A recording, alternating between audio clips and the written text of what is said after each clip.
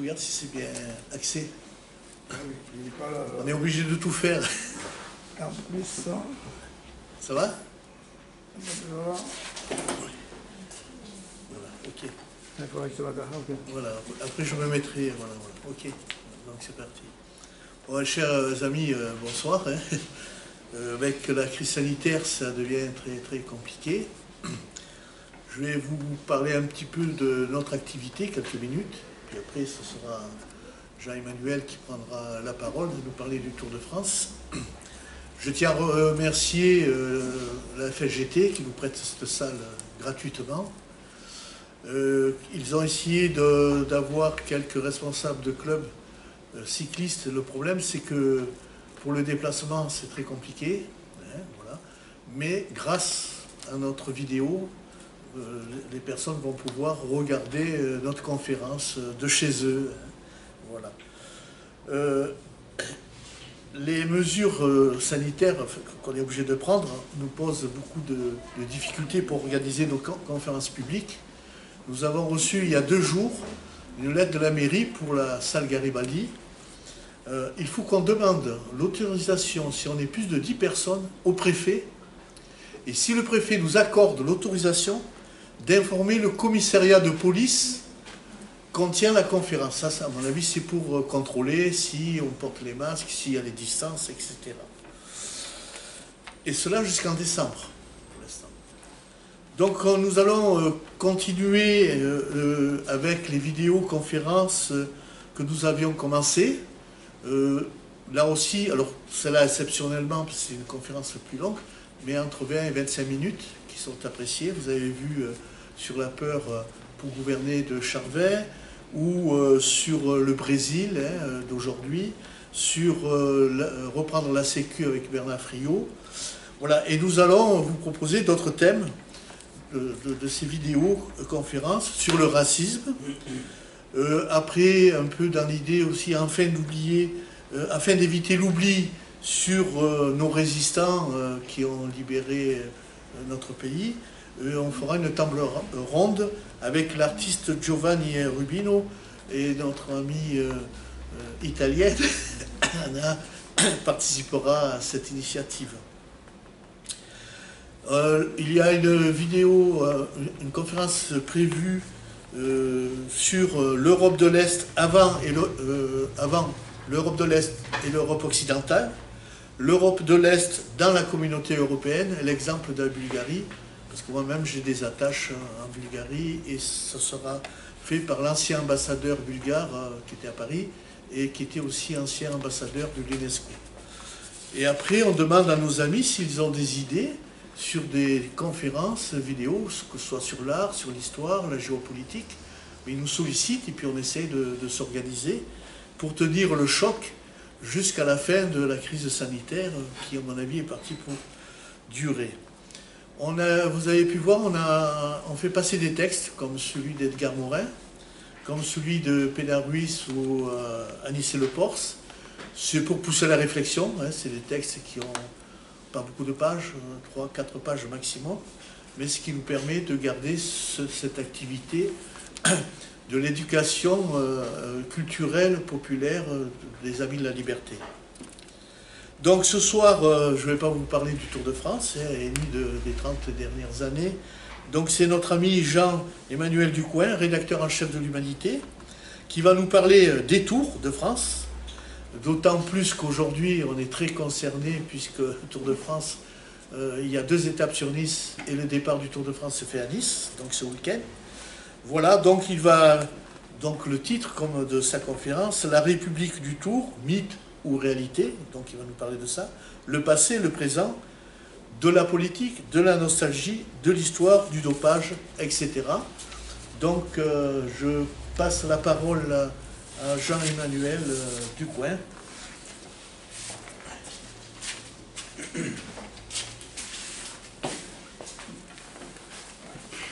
Bonsoir à tous. Que de noms prestigieux qui m'ont précédé. Comme euh, tout bon journaliste et tout bon écrivain, évidemment, vous vous doutez bien que je ne suis pas arrivé les mains dans les poches. J'ai préparé un texte. Donc, comme euh, ça vient d'être dit, ça s'appelle La République du Tour, mythe ou réalité. C'est une vision comment vous dire, très personnel, très actuel, mais aussi avec un prisme historique qui me tient particulièrement à cœur. Et ce sont des thèmes qu'on aborde assez rarement quand on est euh, journaliste et qu'on suit le Tour de France depuis longtemps, parce que c'est mon 31e cette année. Antoine Blondin disait Le Tour de France est une épreuve de surface qui plonge ses racines dans les grandes profondeurs. J'ai conjugué le culte du Tour à tous les temps. Avec la flamme au cœur et au coin des yeux, c'était rieur pour jamais charmer d'autant de diablerie. Admettons, le cyclisme m'en a offert des rêves et des exploits, et comme le disait Blondin, s'il était un sport qui méritait quelques boursouflures de style, au carrefour de l'homme et de la machine, du sol et du climat, de l'individu et de la société, c'était bien celui-là.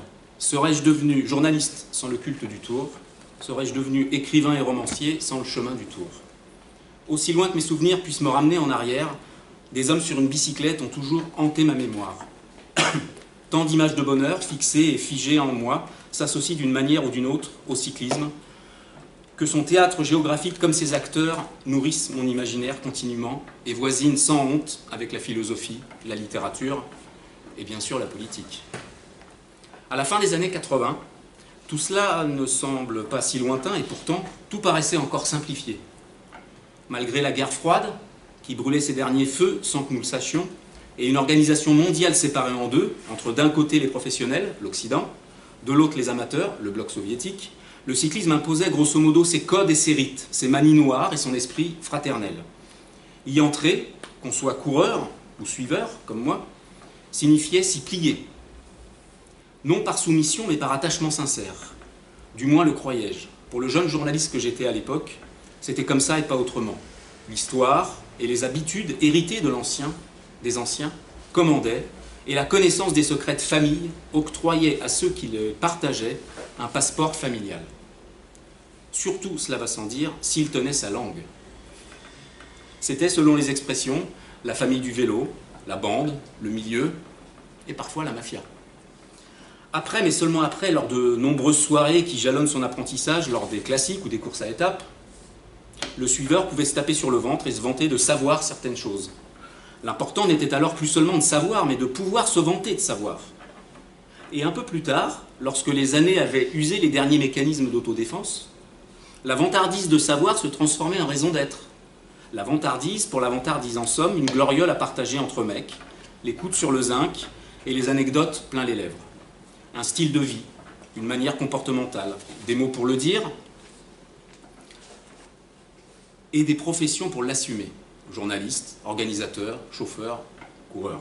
Par glissement successif, le journaliste, que je suis toujours, n'a alors plus qu'un lointain souvenir de son métier, de son éthique et des raisons pour lesquelles il décida un jour de se mettre derrière une machine à écrire pour raconter une échappée en exaltant la puissance souple d'une pédalée ou l'ardeur d'un caractère de champion.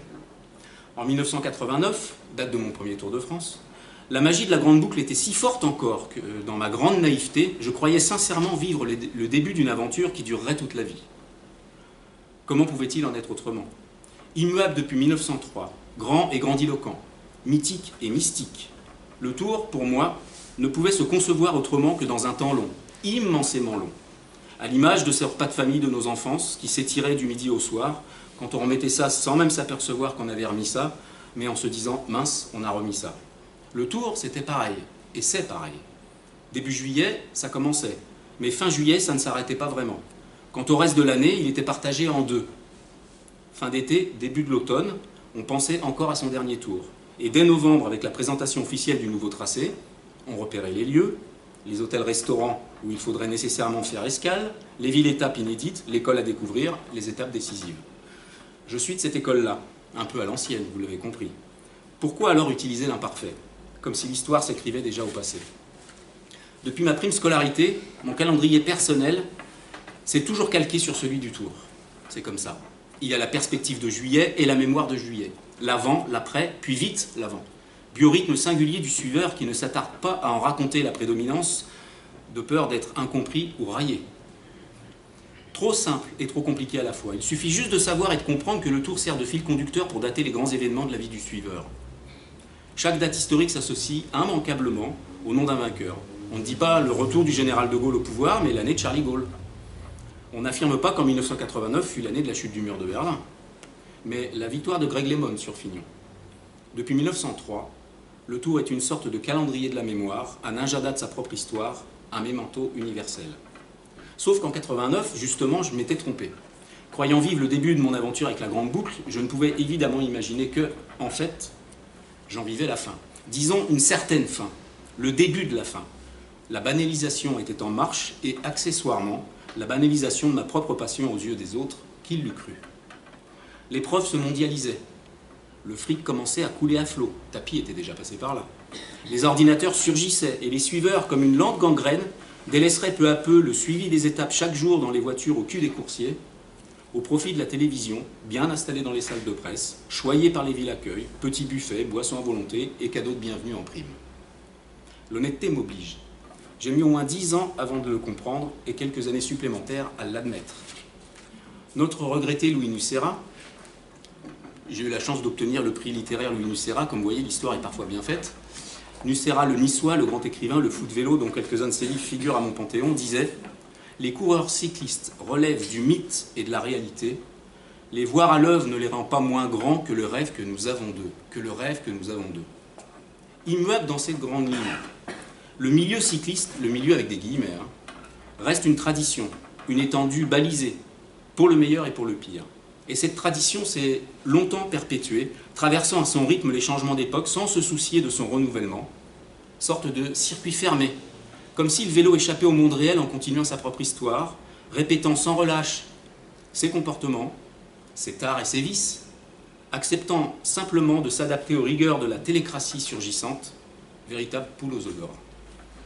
Si le goût du secret confère à ceux qui le détiennent un odieux sentiment de supériorité, quand on s'adresse à des profanes, la volonté jusqu'au boutiste de protéger sa famille, la famille, coûte que coûte, impose des contraintes qui abrutissent l'intelligence et poussent les hommes au mensonge quotidien, aux accommodements avec la réalité, et pire encore, au déni de soi-même.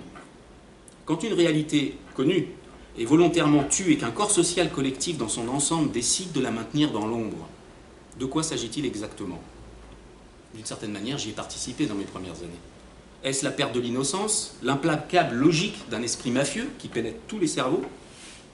Et comment doit-on se comporter en découvrant ce qui se cache derrière le beau rideau des apparences? Doit-on fuir, tourner le dos? Ou de l'intérieur, tenter de modifier ce qui peut l'être?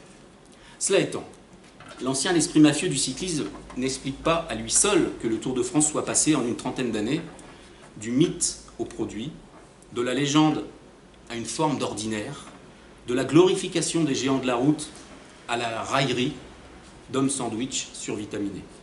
De même, l'indécence des pratiques dopantes, sa généralisation, son organisation froidement planifiée avec la complicité et la duplicité de tous, ou presque, ne suffit pas à régler la question de la possible banalisation d'une épreuve comme le Tour.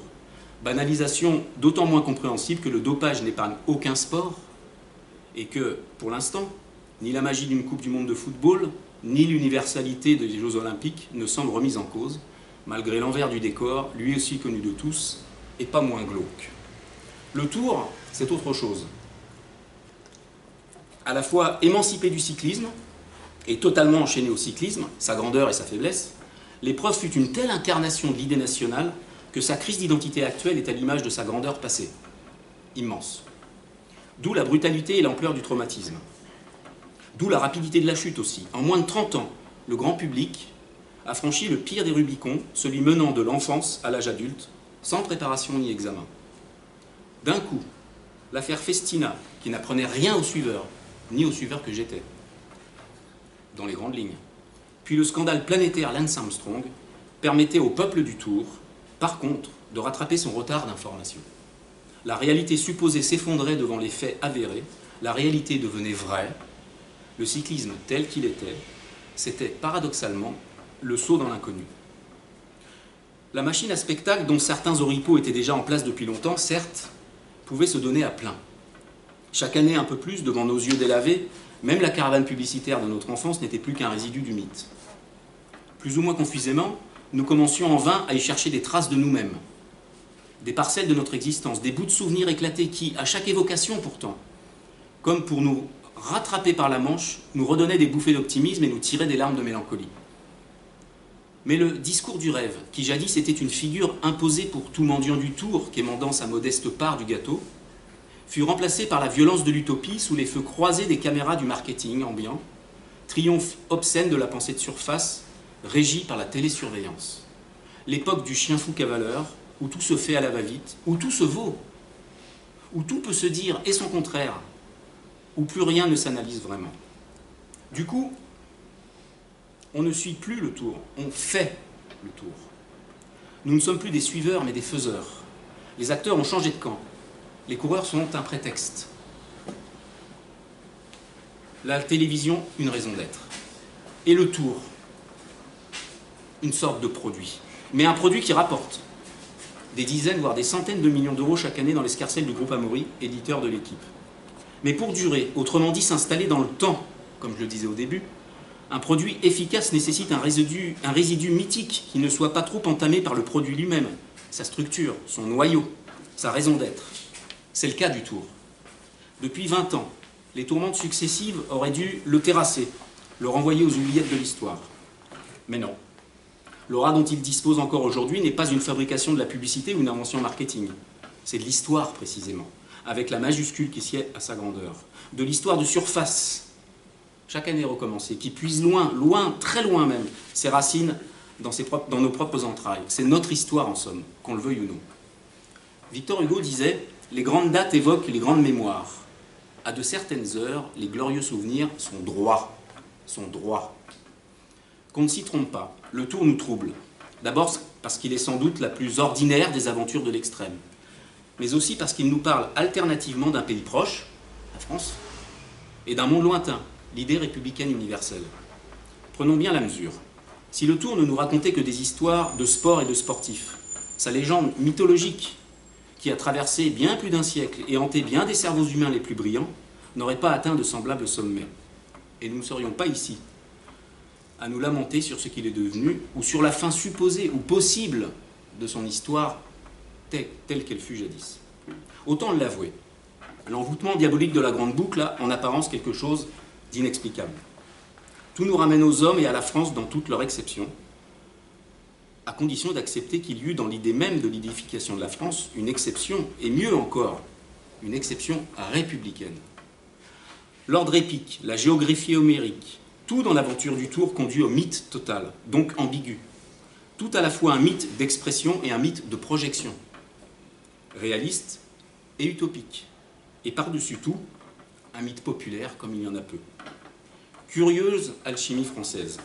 Si l'idée d'organiser un tour cycliste reliant Paris via Paris, euh, Paris-Paris via les principales villes de France répond en 1903 pour le journal Loto à des impératifs commerciaux, relancer les ventes du quotidien, sa création concrète replacé dans le contexte de l'époque, répond à une triple ambition patriotique, morale et pédagogique. En faisant connaître la France aux Français et en suscitant partout l'émulation, de l'énergie et de la volonté, le tour va contribuer à une sorte de nationalisation de la société française, lui conférant une image d'unité, une unification par le sol, un sol mémoire de la nation. Nous imaginons peu aujourd'hui à quel point cette épreuve au début du XXe siècle contribua à sa manière à enseigner la France aux Français et à raffermir le sentiment d'appartenance collective au cœur d'un terreau politique où s'aiguisent les luttes sociales et où l'on croise quelques personnages hauts en couleur qui s'intéressent au tour, qui écrivent surtout à propos du tour. Émile Combes, Jules Gued ou encore Jean Jaurès, qui pensent sérieusement à créer un journal, ce sera l'humanité. Héritier d'une espèce de tradition des compagnons, mais aussi imprégné de la culture patriotique inculquée par l'école républicaine et les courants de pensée maçonniques, qui aidèrent à la structuration et l'implantation du rugby sur notre territoire, c'est les francs-maçons, le tour, rapidement, imprègne la mémoire collective de générations entières qui, elles-mêmes, par la suite, en transmettront l'essentiel aux générations futures, et ainsi de suite. Grand livre mémoire de photos vécues, le tour se feuillette à distance et en songe, mélange de nostalgie et de joie, et devient la pâte à tous indispensable à la fermentation des familles du XXe siècle. Cette généalogie à la fois pieuse et ouvrière, parvient donc jusqu'à nous. Ce nous, organiquement amoureux du tour, même parfois malgré soi, généreux héritier du tour, bientôt orphelin du tour? À ce propos, dilemme. Nous sentons-nous vraiment orphelins du tour du tour à l'ancienne, de la projection que nous nous faisons du tour, ou orphelin de la République du tour? La nuance paraît superfétatoire, elle ne l'est pas. Périodiquement, l'épreuve mythique, avec ses vedettes de chair et d'os souffrant le martyr, renoue avec les temps héroïques, disons ceux d'avant la Première Guerre mondiale, du temps d'Henri Desgranges, son géniteur, lorsque les coureurs franchissaient la montagne dans la nuit, se trouvaient nez à nez avec des ours, une légende, ou faisaient le coup de poing avec les supporters de leurs adversaires munis de gourdins ou de revolvers, une réalité, pour éviter qu'on leur jette des clous sur leurs pneus fragiles. Le tour était taillé à la machette, à peine une dizaine d'étapes interminables, avec une hygiène déplorable, du matériel de damnés et un règlement à faire frémir les plus courageux. Entendons-nous bien, il ne pouvait y avoir commémoration de mythes et légendes du Tour sans conférer à l'événement sportif lui-même, devenu institution nationale et intronisé lieu de mémoire à lui tout seul, la place qui lui revient dans l'élaboration et la consolidation d'une nouvelle vision de la République, née, comme lui, au lendemain de l'affaire Dreyfus. Il faut comprendre dans quelle mesure la grande boucle a partie liée avec le modèle républicain, dans quelle mesure la structuration symbolique et pratique de la République, le tour et les attentes de la majorité des Français se sont longtemps trouvés en correspondance. Comprendre ainsi comment le tour a contribué à dessiner les contours d'une France authentiquement hexagonale, puis d'une France européenne, le rêve jaurétien de nations réconciliées et libres, ayant la passion de l'universalité.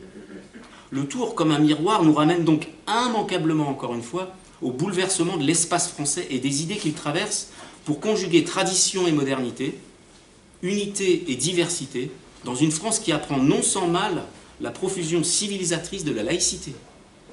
La liberté de conscience était neuve, la liberté géographique, elle, était encore une conquête. Au fil de son évolution, le tour n'échappera pas aux soubresauts politiques et aux synthèses plus ou moins assumées de notre pacte républicain, forcé tout au long du XXe siècle et la plupart du temps enfanté dans la douleur des immédiates après-guerre. Le tour en a payé le prix, au prix du sang du peuple ou des résistants, témoins de tant de luttes sociales. Ainsi, le tour sera-t-il tantôt républicain universel, tantôt nationaliste, parfois même régionaliste? Entre ombre et lumière, nous cherchons donc des traces d'uniformité dans cette histoire souvent troublés. Ainsi, le tour ne serait ni de droite ni de gauche, mais au service de quelque chose qui dépasse les périmètres classiques. Comme disait Blondin, la compétition sportive est parfois un domaine où l'on n'est jamais si bien servi que par les autres.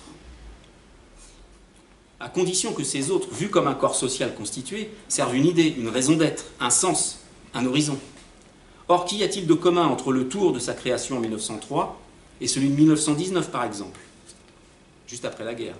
Que peut-il y avoir de commun entre le tour de 1936, apparition des premiers congés payés de l'histoire, et celui de 1947, première édition de l'après-deuxième guerre mondiale?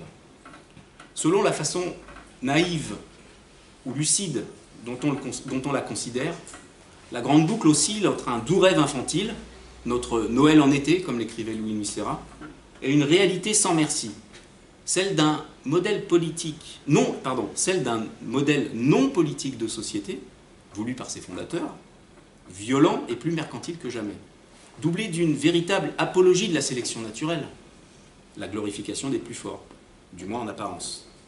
Avec le tour, il y aurait donc deux France, deux branches d'un même arbre, deux racines inoculant la même sève, une et indivisible Le tour, idée folle, ne serait donc que cette alchimie géniale, rassembleuse et régénératrice, éducative et toujours ouverte, même aux étrangers.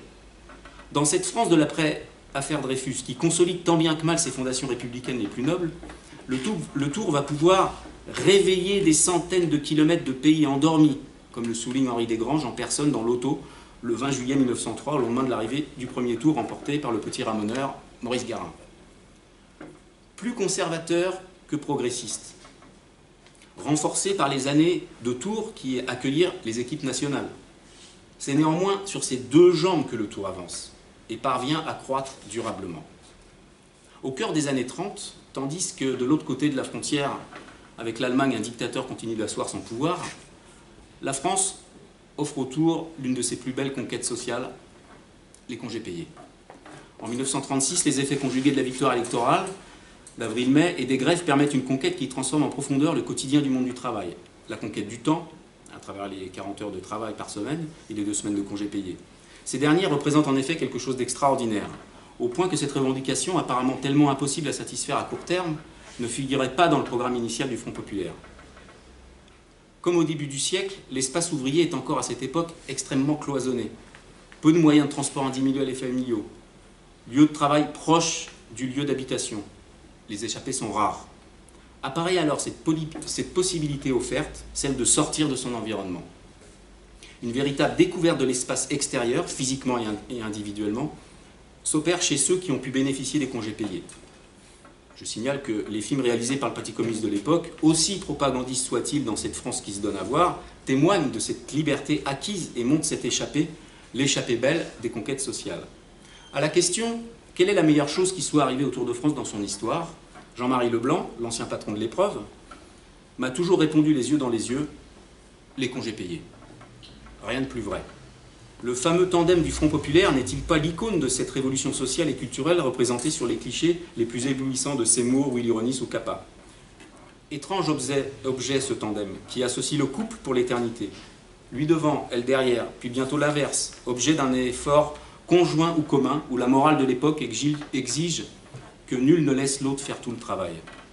Dans les colonnes de l'Humanité, pendant le Front populaire, le chroniqueur du quotidien, Pierre Mars, raconte le 6 juillet 1936 que la course a permis pendant 27 jours de rencontrer au long des routes les peuples de France, de dire ses luttes et ses victoires, celles du Front populaire, au succès duquel notre journal a tant contribué. Dès le 14 juillet 1935, il faut bien se repasser dans l'époque, la fête nationale devient prétexte à toutes sortes de festivités républicaines et sociales. Le Tour s'y associe. Le Tour de France, loin d'être un repoussoir, devient au contraire un aimant attirant à lui la foule en masse. Évidemment, pas dès 1936, la loi étant promulguée trop tard pour nourrir le rendez-vous de juillet, mais dès 1937, 1938, et plus encore après-guerre, quand le Tour reprend ses droits en 1947, à l'heure de la reconstruction nationale et de l'effort collectif. Ce sont des dizaines de milliers de familles qui épousent la géographie de la Grande Boucle et acclament les coureurs à leur passage. Ce sera une constante à mesure que la France développera son réseau routier. Plus le Tour empruntera de nouvelles voies, de nouveaux tronçons, de nouveaux cols, de départements jusque-là jamais visités par les boyaux des coureurs, et plus le peuple, dans sa diversité, sera nombreux pour le rendez-vous de juillet. Une autre forme de conquête sociale, celle de la passion populaire, jamais démentie, celle du peuple du Tour. Je le nomme comme ça, le peuple du Tour. De ce Tour de France, fils préféré mais illégitime de la République, glorifiant dans le même élan vainqueur français ou étranger, honorant la France politique en quelque sorte, qu'elle soit conservatrice ou gaulo-communiste, pour schématiser, sachant toujours dialoguer avec le Front populaire, les ouvriers et les intellectuels, que reste-t-il? Mais que reste-t-il vraiment? La trajectoire du tour, tel un miroir tendu à toute notre histoire contemporaine, ressemble à une variation, une de plus, qui aurait pour thème le vertige français. Comme il y a aujourd'hui une République version tragique, il y a bien, admettons-le, un Tour de France version tragique, laboratoire des pulsions humaines, immonde broyeur d'idéaux, et puis le progrès. Quel progrès? On se déplace plus rapidement, mais il faut toujours le même temps pour faire un homme. On relie Paris à Barcelone en 20 fois moins de temps qu'au XVIe siècle, mais on lit Don Quichotte à la même vitesse.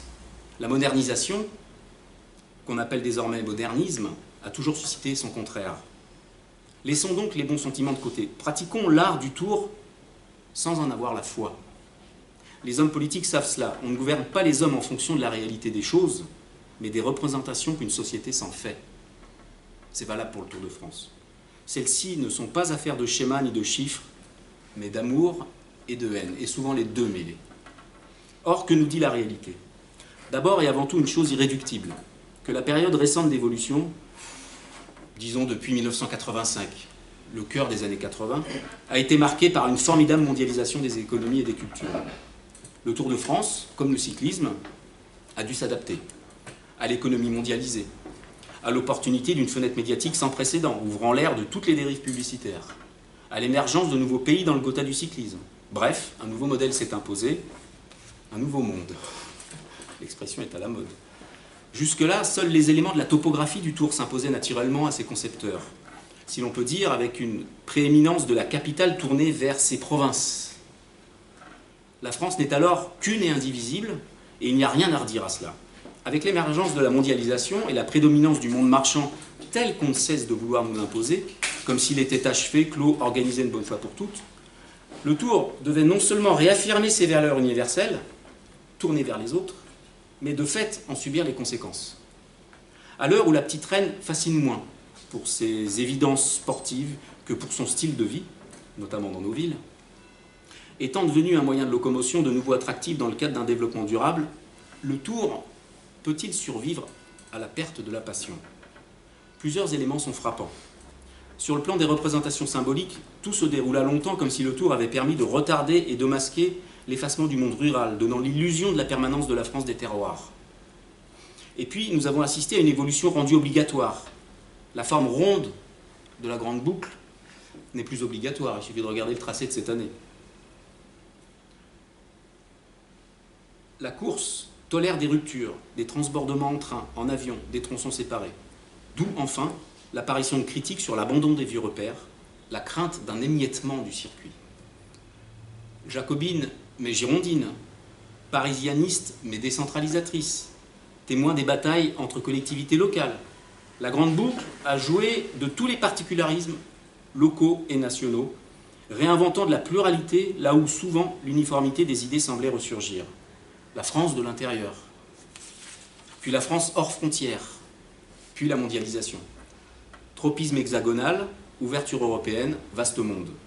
Mais dans une France où le modèle républicain est remis en cause par l'ultralibéralisme, le tour, en raison même de sa trajectoire unique, aurait pu constituer une alternative à la fois particulière et universelle. En abolissant les distances et l'imaginaire, le tour ne s'est-il pas un peu oublié en route, négligeant qu'on le veuille ou non, ce que Fernand Braudel appelait cette France qui se nomme diversité D'ailleurs, que reste-t-il du couple unité-diversité autour de la bulle du Tour de France? Car voilà bien le paradoxe. C'est précisément au moment où la mondialisation, source paraît-il de différence, dicte sa loi que l'uniformisation semble la plus imposante. C'est valable pour le tour et c'est valable pour le cyclisme. Quand tout, quand tout pousse au manichéisme et aux produits de consommation, qu'il s'agisse de l'organisation comme des coureurs, le mythe Tour de France, ayant l'honnêteté de le dire, vit désormais plus par ses souvenirs que par ce qu'il est aujourd'hui. Son seul capital symbolique, réside dans le résidu du rêve, ou une forme de résidu du rêve. C'est beaucoup, mais est-ce suffisant pour le XXIe siècle? En deux décennies et un peu plus, d'errance et d'affaires en tout genre, touchant tous les pays, l'Italie, la Belgique, l'Allemagne, la France, l'Espagne, les États-Unis, et le plus grand vainqueur de l'histoire du Tour lui-même, Lance Armstrong, le cyclisme, donc le Tour, a perdu plus que son crédit. Je dirais, moi, presque sa fonction. À l'homme du peuple, issu des couches populaires, dur à la peine et apte au surpassement, a été substitué le Robocop pédalant, ivre de lui-même et de performances chronométrées, homme jetable qui se soucie peu ou pas du tout de l'image qu'il renvoie de lui-même. Le tour a été frappé de plein fouet, et par sa caisse de résonance, son aura, son histoire, et parce qu'il demeura toujours la plus grande course du cyclisme mondial, il a en quelque sorte amplifié les effets dévastateurs il s'est vu dans l'obligation, souvent contre lui-même, d'oxyre sa propre légende, dans le but d'enfanter l'événement banalisé planétaire qu'il est bel et bien devenu et auquel nous assistons désormais. Que sont les pro-chevaliers devenus, sinon la préfiguration d'un nouveau genre de coureur, proche des héros virtuels? Comprenez bien, un décalage mortel a fini par se creuser entre les coureurs, mutés en figurines de jeux vidéo, et le public fidèle à l'heure de célébrer sur le bord de la route la mémoire de sa propre histoire. Le tour s'est défait peu à peu de son caractère onirique et poétique pour se convertir en machine à spectacle où chaque jour à la télévision, on peut lire l'essence générale du sport, un modèle réduit du capitalisme.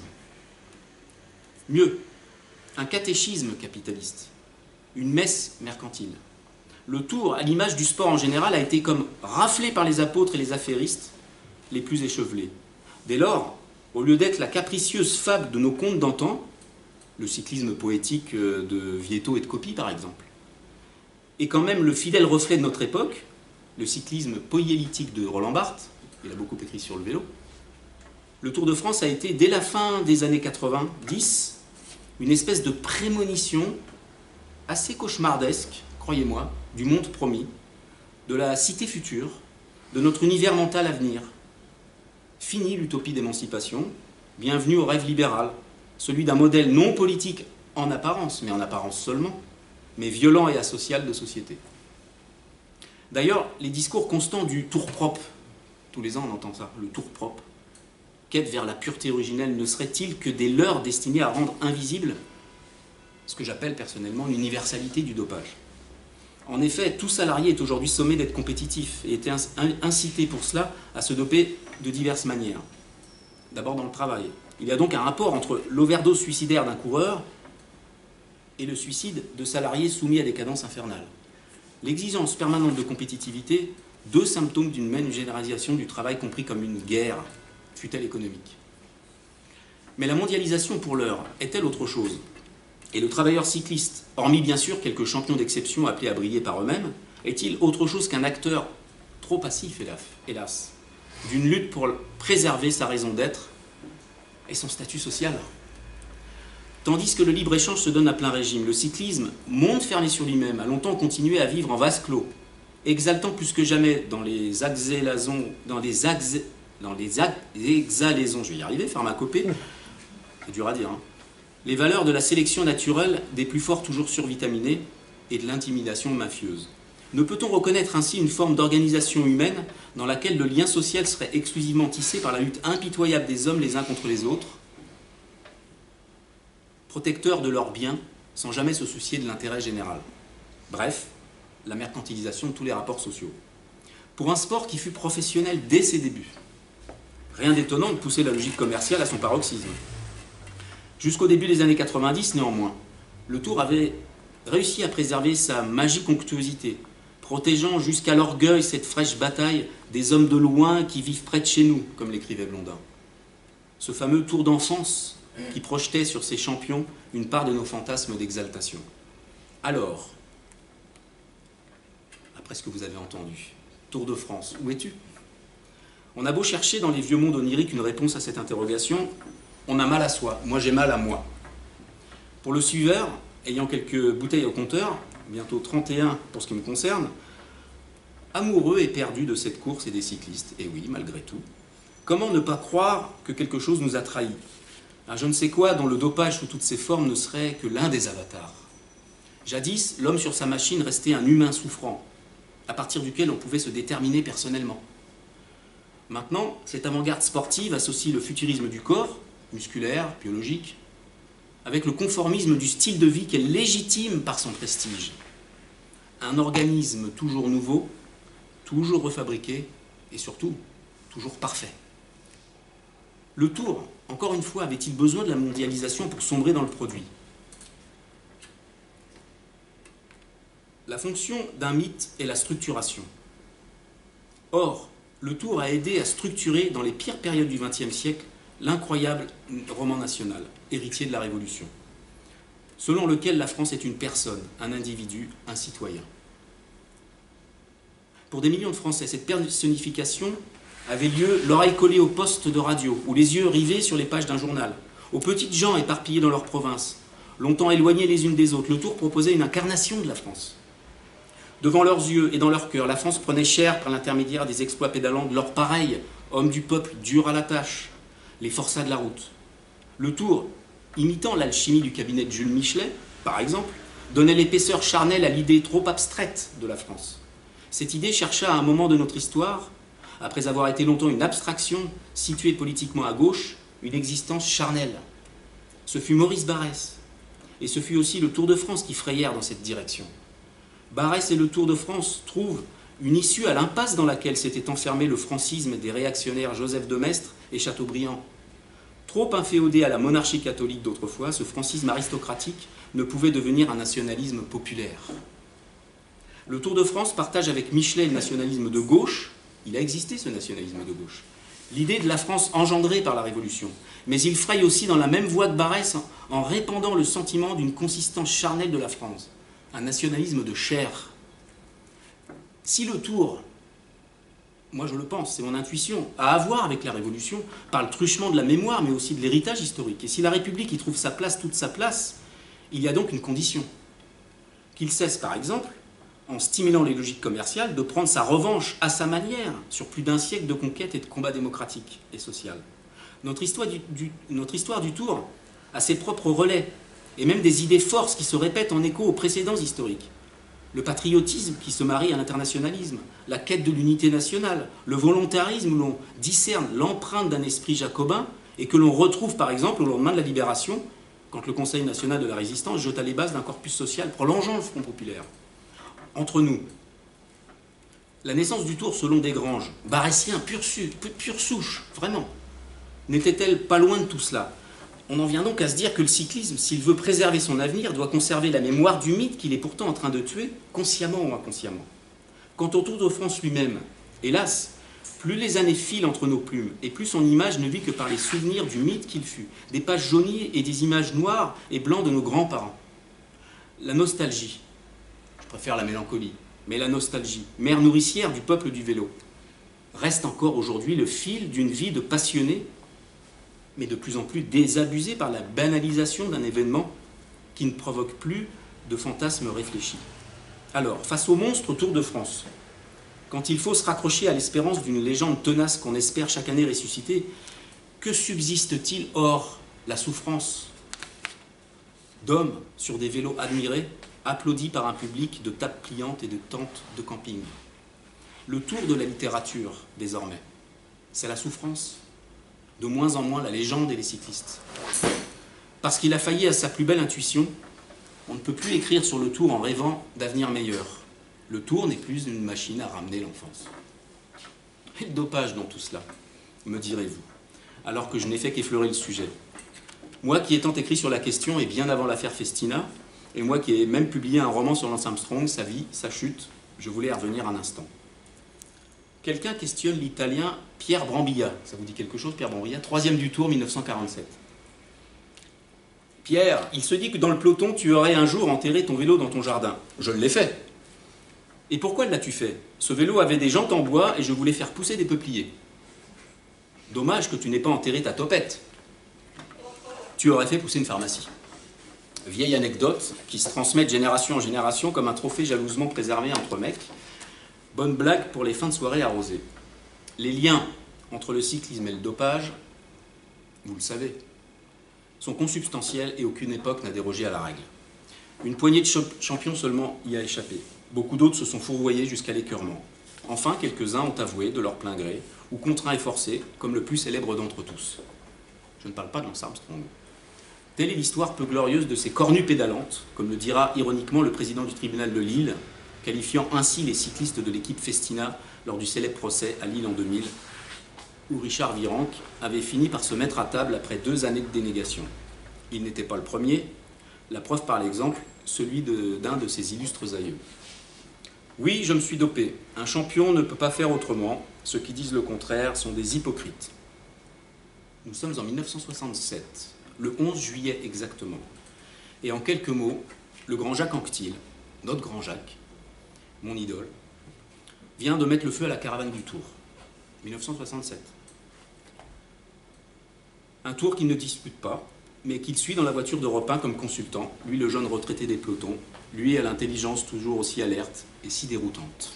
Au soir de la quatrième étape entre Amiens et Roubaix, toute la grande famille du vélo reste clouée au mur sous le choc de ces révélations qui n'en sont pas bien sûr pour les suiveurs de l'époque. L'interview du quintuple vainqueur de la Grande Boucle, publiée le matin même par l'hebdomadaire France Dimanche, s'arrache de main en main. Tout le monde comprend que plus rien ne sera comme avant. Dans cet entretien, Anctil confesse, je cite, S'il y a un grave problème dans le cyclisme, c'est bien celui du doping. On disait doping à l'époque. Malheureusement, ceux qui en parlent le plus sont ou des hypocrites ou des ignorants. Voilà pourquoi, pour la première fois, je voudrais dire franchement ce que j'ai sur le cœur. Moi aussi, je me suis dopé, moi aussi, comme tous les autres coureurs, il m'est arrivé d'être frappé d'un brutal coup de pompe. Alors j'ai fouillé dans ma musette, la main tremblante, pour y cueillir des comprimés. Bien souvent, je me suis fait des piqûres, j'ai suivi des traitements. Si on veut m'accuser de m'être dopé, ce n'est pas difficile. Il suffit de regarder mes fesses et mes cuisses, ce sont de véritables écumoires.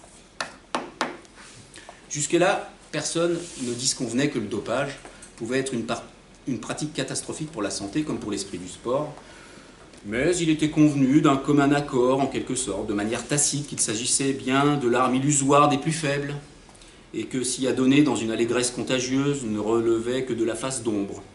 Après le témoignage du premier quintube vainqueur de l'histoire, on changeait de registre et plus personne ne pouvait nier que les liaisons dangereuses dépassaient le strict cadre des grégarios, à la peine cherchant leur second souffle pour faire leur taf correctement. Mais tout le monde en était-il convaincu? Ça, c'est un must. Relisons avec le recul nécessaire ce que pouvait bien écrire Antoine Blondin, par exemple, à l'époque sur le sujet. Je cite. Bien sûr que nous aussi, nous croyons à la nécessité d'une lutte antidopage dans la mesure où la non-assistance à personne en danger est une notion bien définie dans les responsabilités de chacun. Mais il serait bon qu'elle demeure une affaire de famille. Ressortissant aux, ressortissant aux médecins du même nom et qu'on évalue tout ce qui peut séparer un diagnostic d'un verdict.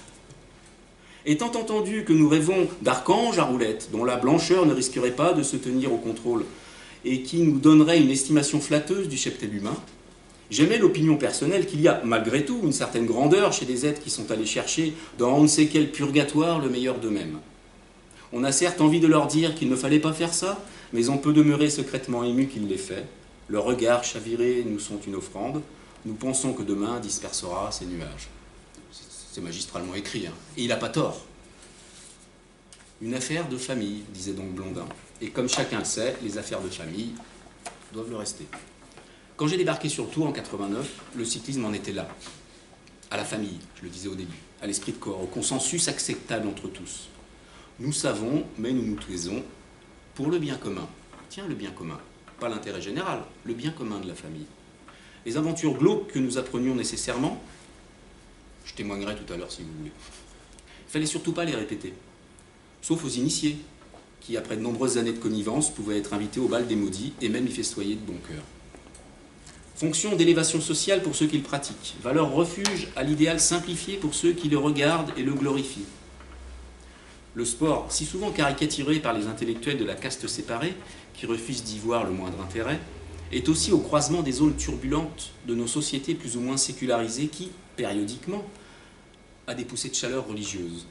J'ai bien dit religieuses. Grandeur et décadence d'un univers impitoyable et poreux qui n'a jamais échappé aux dérives en tout genre. La présence rampante du dopage, dans sa continuité, nous instruit aussi sur la nature même du sport quand il devient, avec l'assentiment du plus grand nombre, sport roi, avec ses serviteurs transformés en dieux. Ainsi, jusqu'au coup d'éclat de Jacques Anquetil, le dopage est-il traité de façon anecdotique ou humoristique? À la fin des années 50, comme témoignait volontiers le grand journaliste de l'équipe Pierre Chani, les suiveurs constatent les dégâts. On peut cette fois parler de la généralisation du dopage. Au cachet que suçait à la vue de tous Faustocopie ou Jacques Anquetil, on ajoute désormais les intraveineuses. Sur le tour 62, petit exemple au passage, la moitié du peloton est pris de maux de vente suspect. On parle d'une intoxication avec des truites. Tout le monde sourit. Le docteur du tour menace de démissionner. Le fléau se répand si vite que le frère de Louison Bobet, Jean, homme lucide, intelligent et sensible, préfère fuir un peloton professionnel saisi par le délire, dit-il. La course aux substances est totale. Tonton, Tintin, Riri, vous les connaissez peut-être les noms. Euh, Tonédron, Pervitine, Ritaline, connaissent leur âge d'or. L'italien Gastone Nencini, vainqueur du Tour 60, les distribue par poignée au village départ. Un plein carton destiné à Charlie Gaulle sera même intercepté par la douane de nouveaux surnoms font leur apparition. Et dans les mallettes des équipes qui accompagneront les coureurs jusqu'au milieu des années 80, on trouve la Mémé, le Mératran, le Pépé, la pervitine qui change d'appellation, la petite Lily, le lit d'éperon, et même le cousin de Riri, la Ritaline bis. Revenons au propos de Jacques Anquetil, tenu le 11 juillet 67. Plus rien ne sera comme avant. Le surlendemain, c'est-à-dire le 13 juillet de sa déclaration, la provocation de Jacques n'en est plus une, et ceux qui gardaient un peu d'intelligence comme ligne de conduite allaient se rendre à l'évidence pour remercier le Normand d'avoir cogné fort. Sur la pente aride du Mont Ventoux, le tour bascule dans l'horreur. Un homme meurt, il est britannique, il s'appelle Tom Simpson et son corps s'effondre là où la végétation disparaît brusquement, au détour d'un virage plus prononcé qu'un autre, là où le Ventoux ressemble à une lune conquise par les hommes, bien après Chalet-Renard. Ici, il n'est plus que des airs de caillasse illuminés par la blancheur chaude de l'été. 13 juillet, 13e étape. Maudit hasard des chiffres. La rassante chaleur, conjuguée au produit dopant, précipite un collapsus cardiaque qui jette l'homme à terre. Tom Simpson était-il une victime expiatoire d'un milieu de mensonges Évidemment. Comment oublier son regard, à jamais figé sur ses photographies au moment même où l'on tente en vain de le réanimer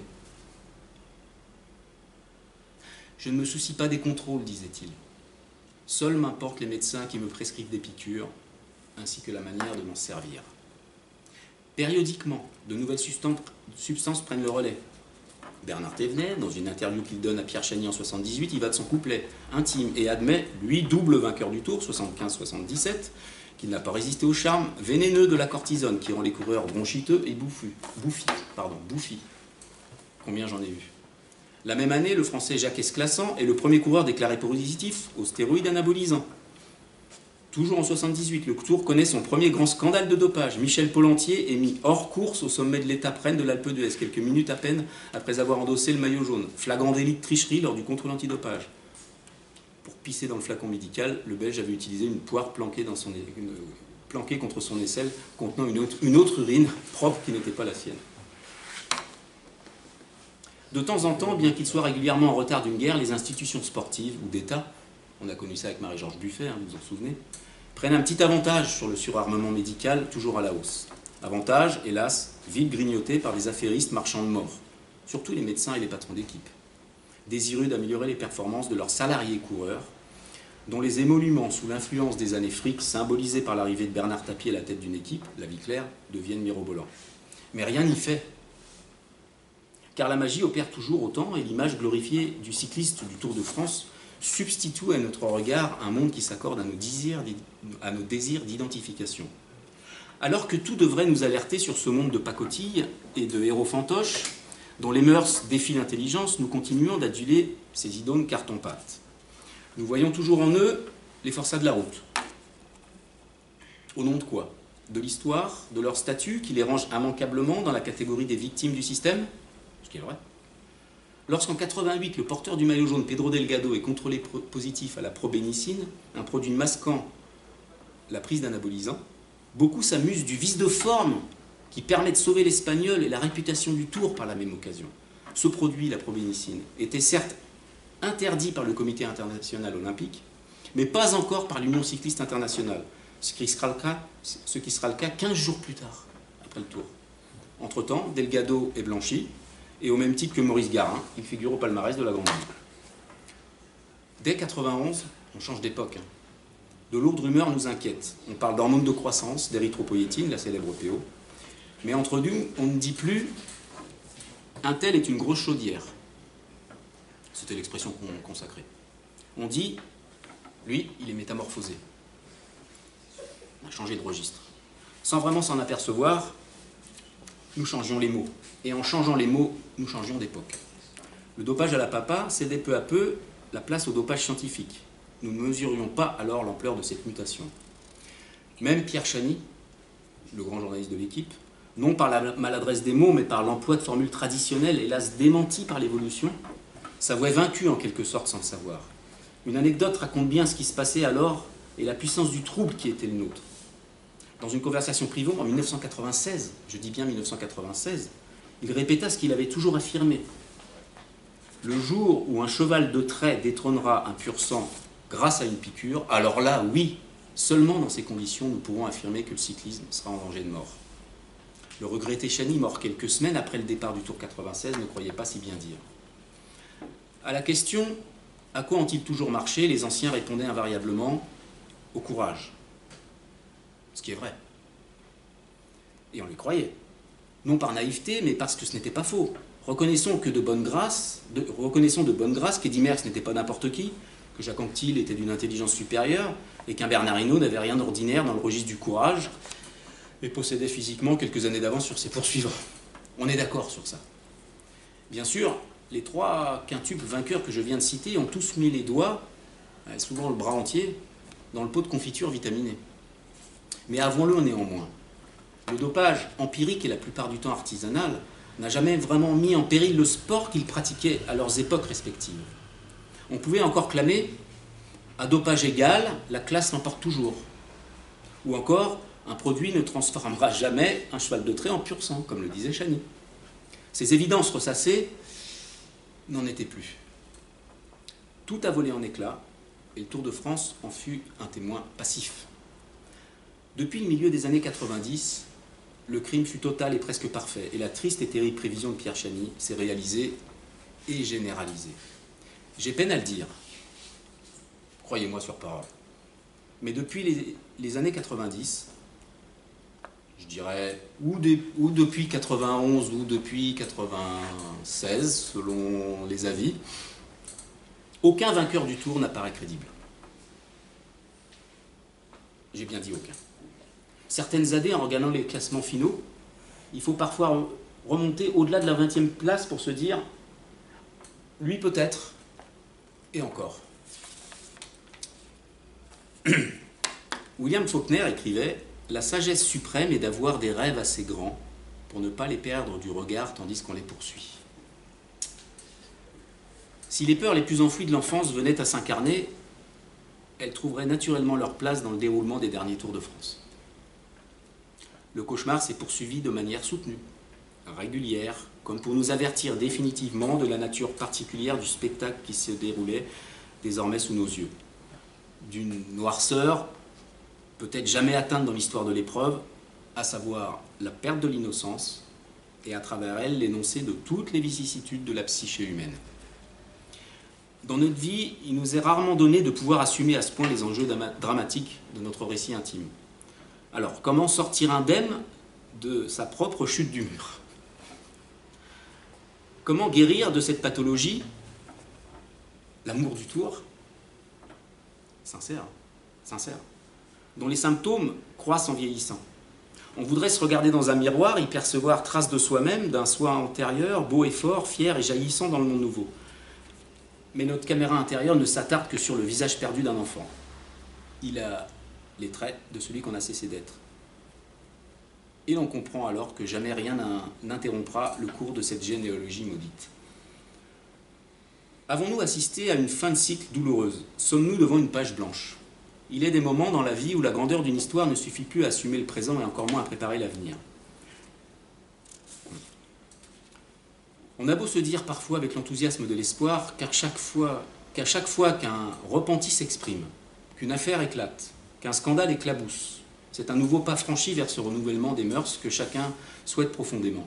Il n'empêche, le monde du cyclisme a la gueule de bois, et le Tour de France a été tellement profané par ceux qui auraient dû nourrir sa légende qu'aucune parole ne pourrait rendre réparation à la hauteur de l'outrage. Si le passé importe toujours, tel un intraduisible fil tendu à travers le temps que nulle forfaiture ne peut cisailler brutalement, l'ici maintenant, avec son cortège de renoncement à l'éthique, réclame plus que de la lucidité, de l'action et si possible collective. Nous revoilà à l'os, car au-delà des luttes de pouvoir, essentielles pour déterminer les périmètres décisionnels futurs, au-delà des crapules sans foi ni loi qui ont perverti le cyclisme et l'idée même du tour, au nom d'une impunité désormais révolue, il ne faut pas se leurrer. Si le public continue d'applaudir, s'il se rassemble toujours nombreux sur les bords des routes ou devant la télévision, s'il se dit prêt à s'exalter de nouveau pour quelques géants du tour, en contrepartie, il réclame une nouvelle règle, une transparence qui n'est plus négociable. Depuis la, la mort de l'Italien Marco Pantani en 2004, depuis la chute abyssale de Lance Armstrong et du système qu'il avait construit autour de lui avec toutes les complicités possibles, rien n'a vraiment changé. Mis sous pression policière et judiciaire, le milieu a surdimensionné les moyens mis en œuvre pour parvenir à faire comme si de rien n'était, comme le chuchotent souvent les suiveurs. Bien sûr, le tour qui s'élance demain à Nice ne ressemble à aucun autre. Tous les repères sont à terre.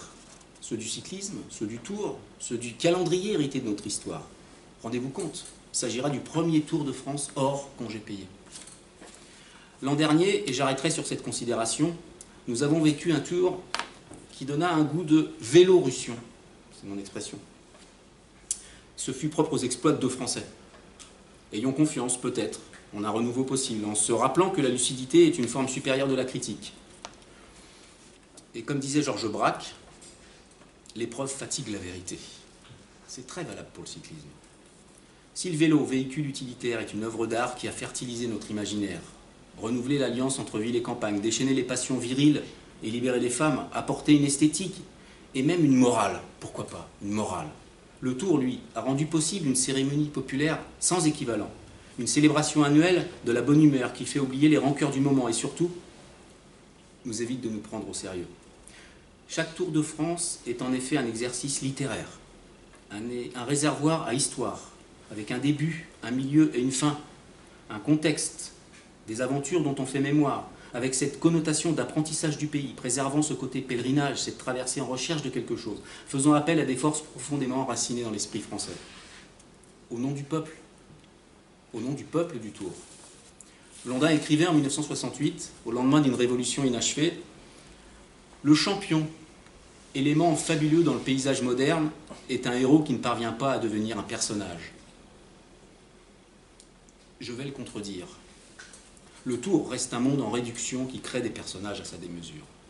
D'où la question, on va peut-être en débattre, Tour de France, année zéro? Merci.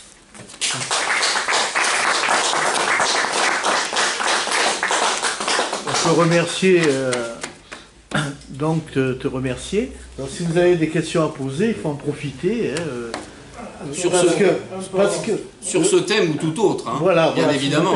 Parce que dans trois jours, il fait le tour. Demain Demain. Non mais, Demain. je veux dire, dans trois jours, euh, hop, Ouais. on part. ouais. Un cadeau pour vous qu'a apporté Julien Camille. Julien Camille, Voilà, très bien, merci beaucoup. On a, on a oublié de vous dire que toutes nos vidéos sont, sont sous-titrées. Vous pouvez avoir les sous-titres hein, sur le, en bas de l'écran. Vous avez un petit logo pour les malentendants. N'est-ce pas, Henri?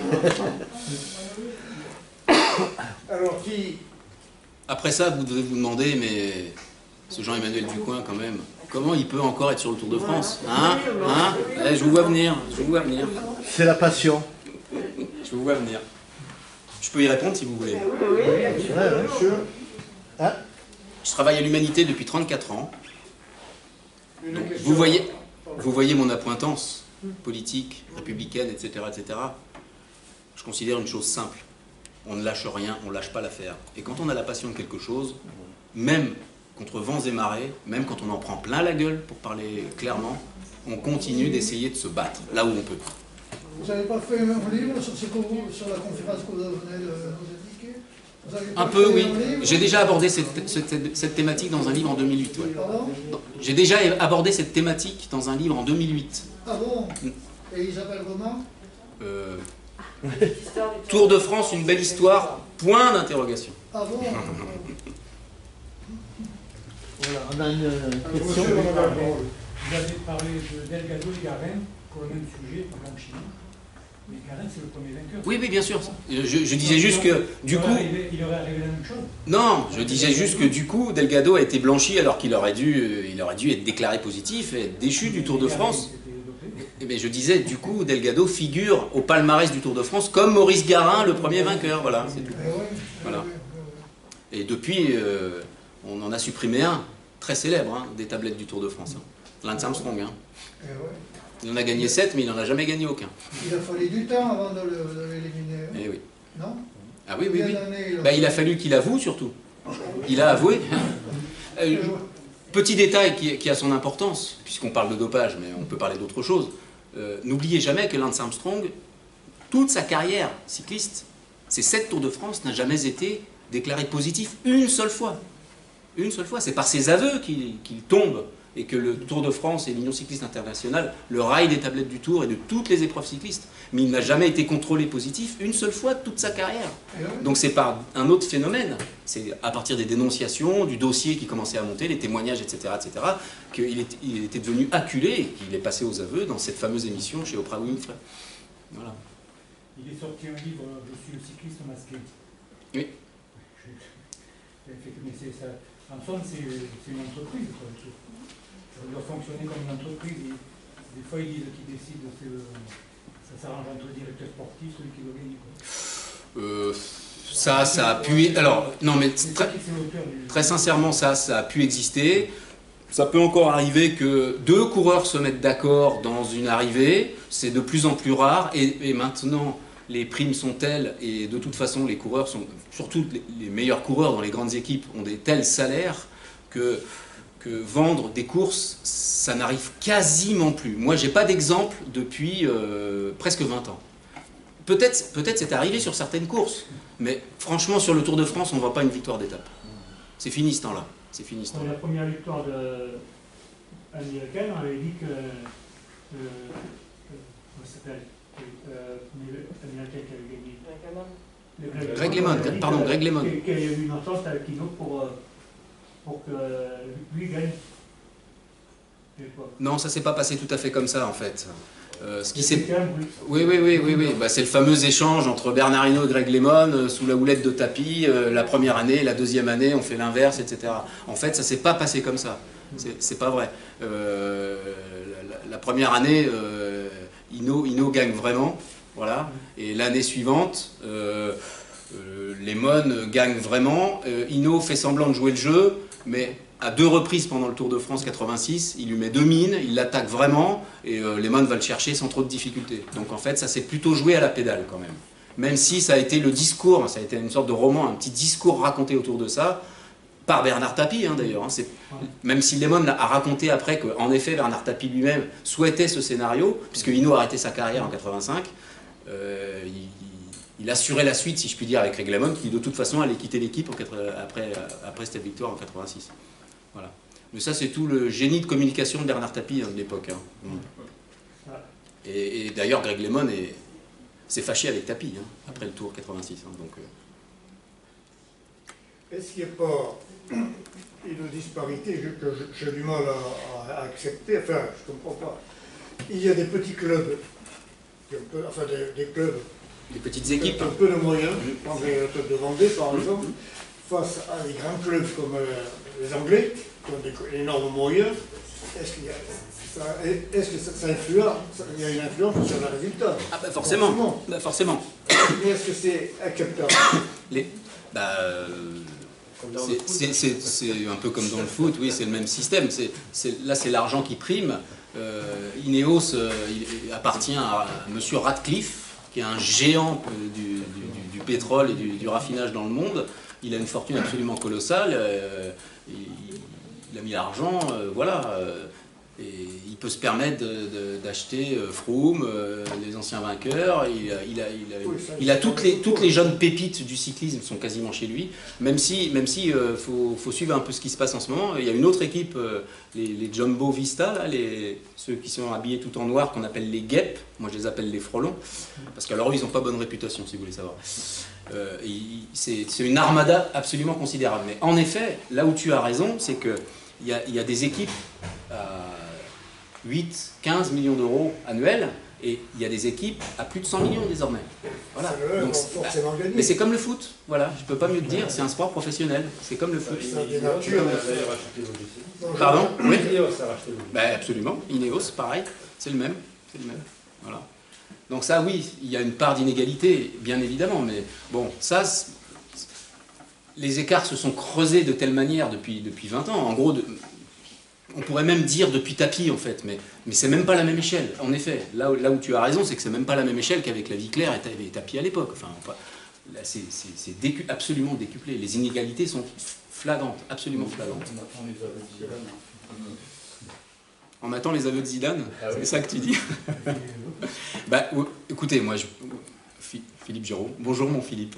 Euh, non mais, on va pas se mentir, bon, en plus on connaît ça par cœur tous les deux avec Philippe, mais l'équipe de France 98. Je parlais de... Qui le dit, hein, Ah, ouais, c'est moi, c'est moi, c'est moi, c'est enregistré Personne ne l'a J'assume, dit. j'assume, j'assume. L'équipe de France 98, non mais je veux dire, moi je suis dans le vélo à l'époque euh, énormément, mais on a suivi la Coupe du Monde ensemble, euh, Philippe euh, était sur le terrain, etc. Euh, franchement, écoutez, ne nous mentons pas.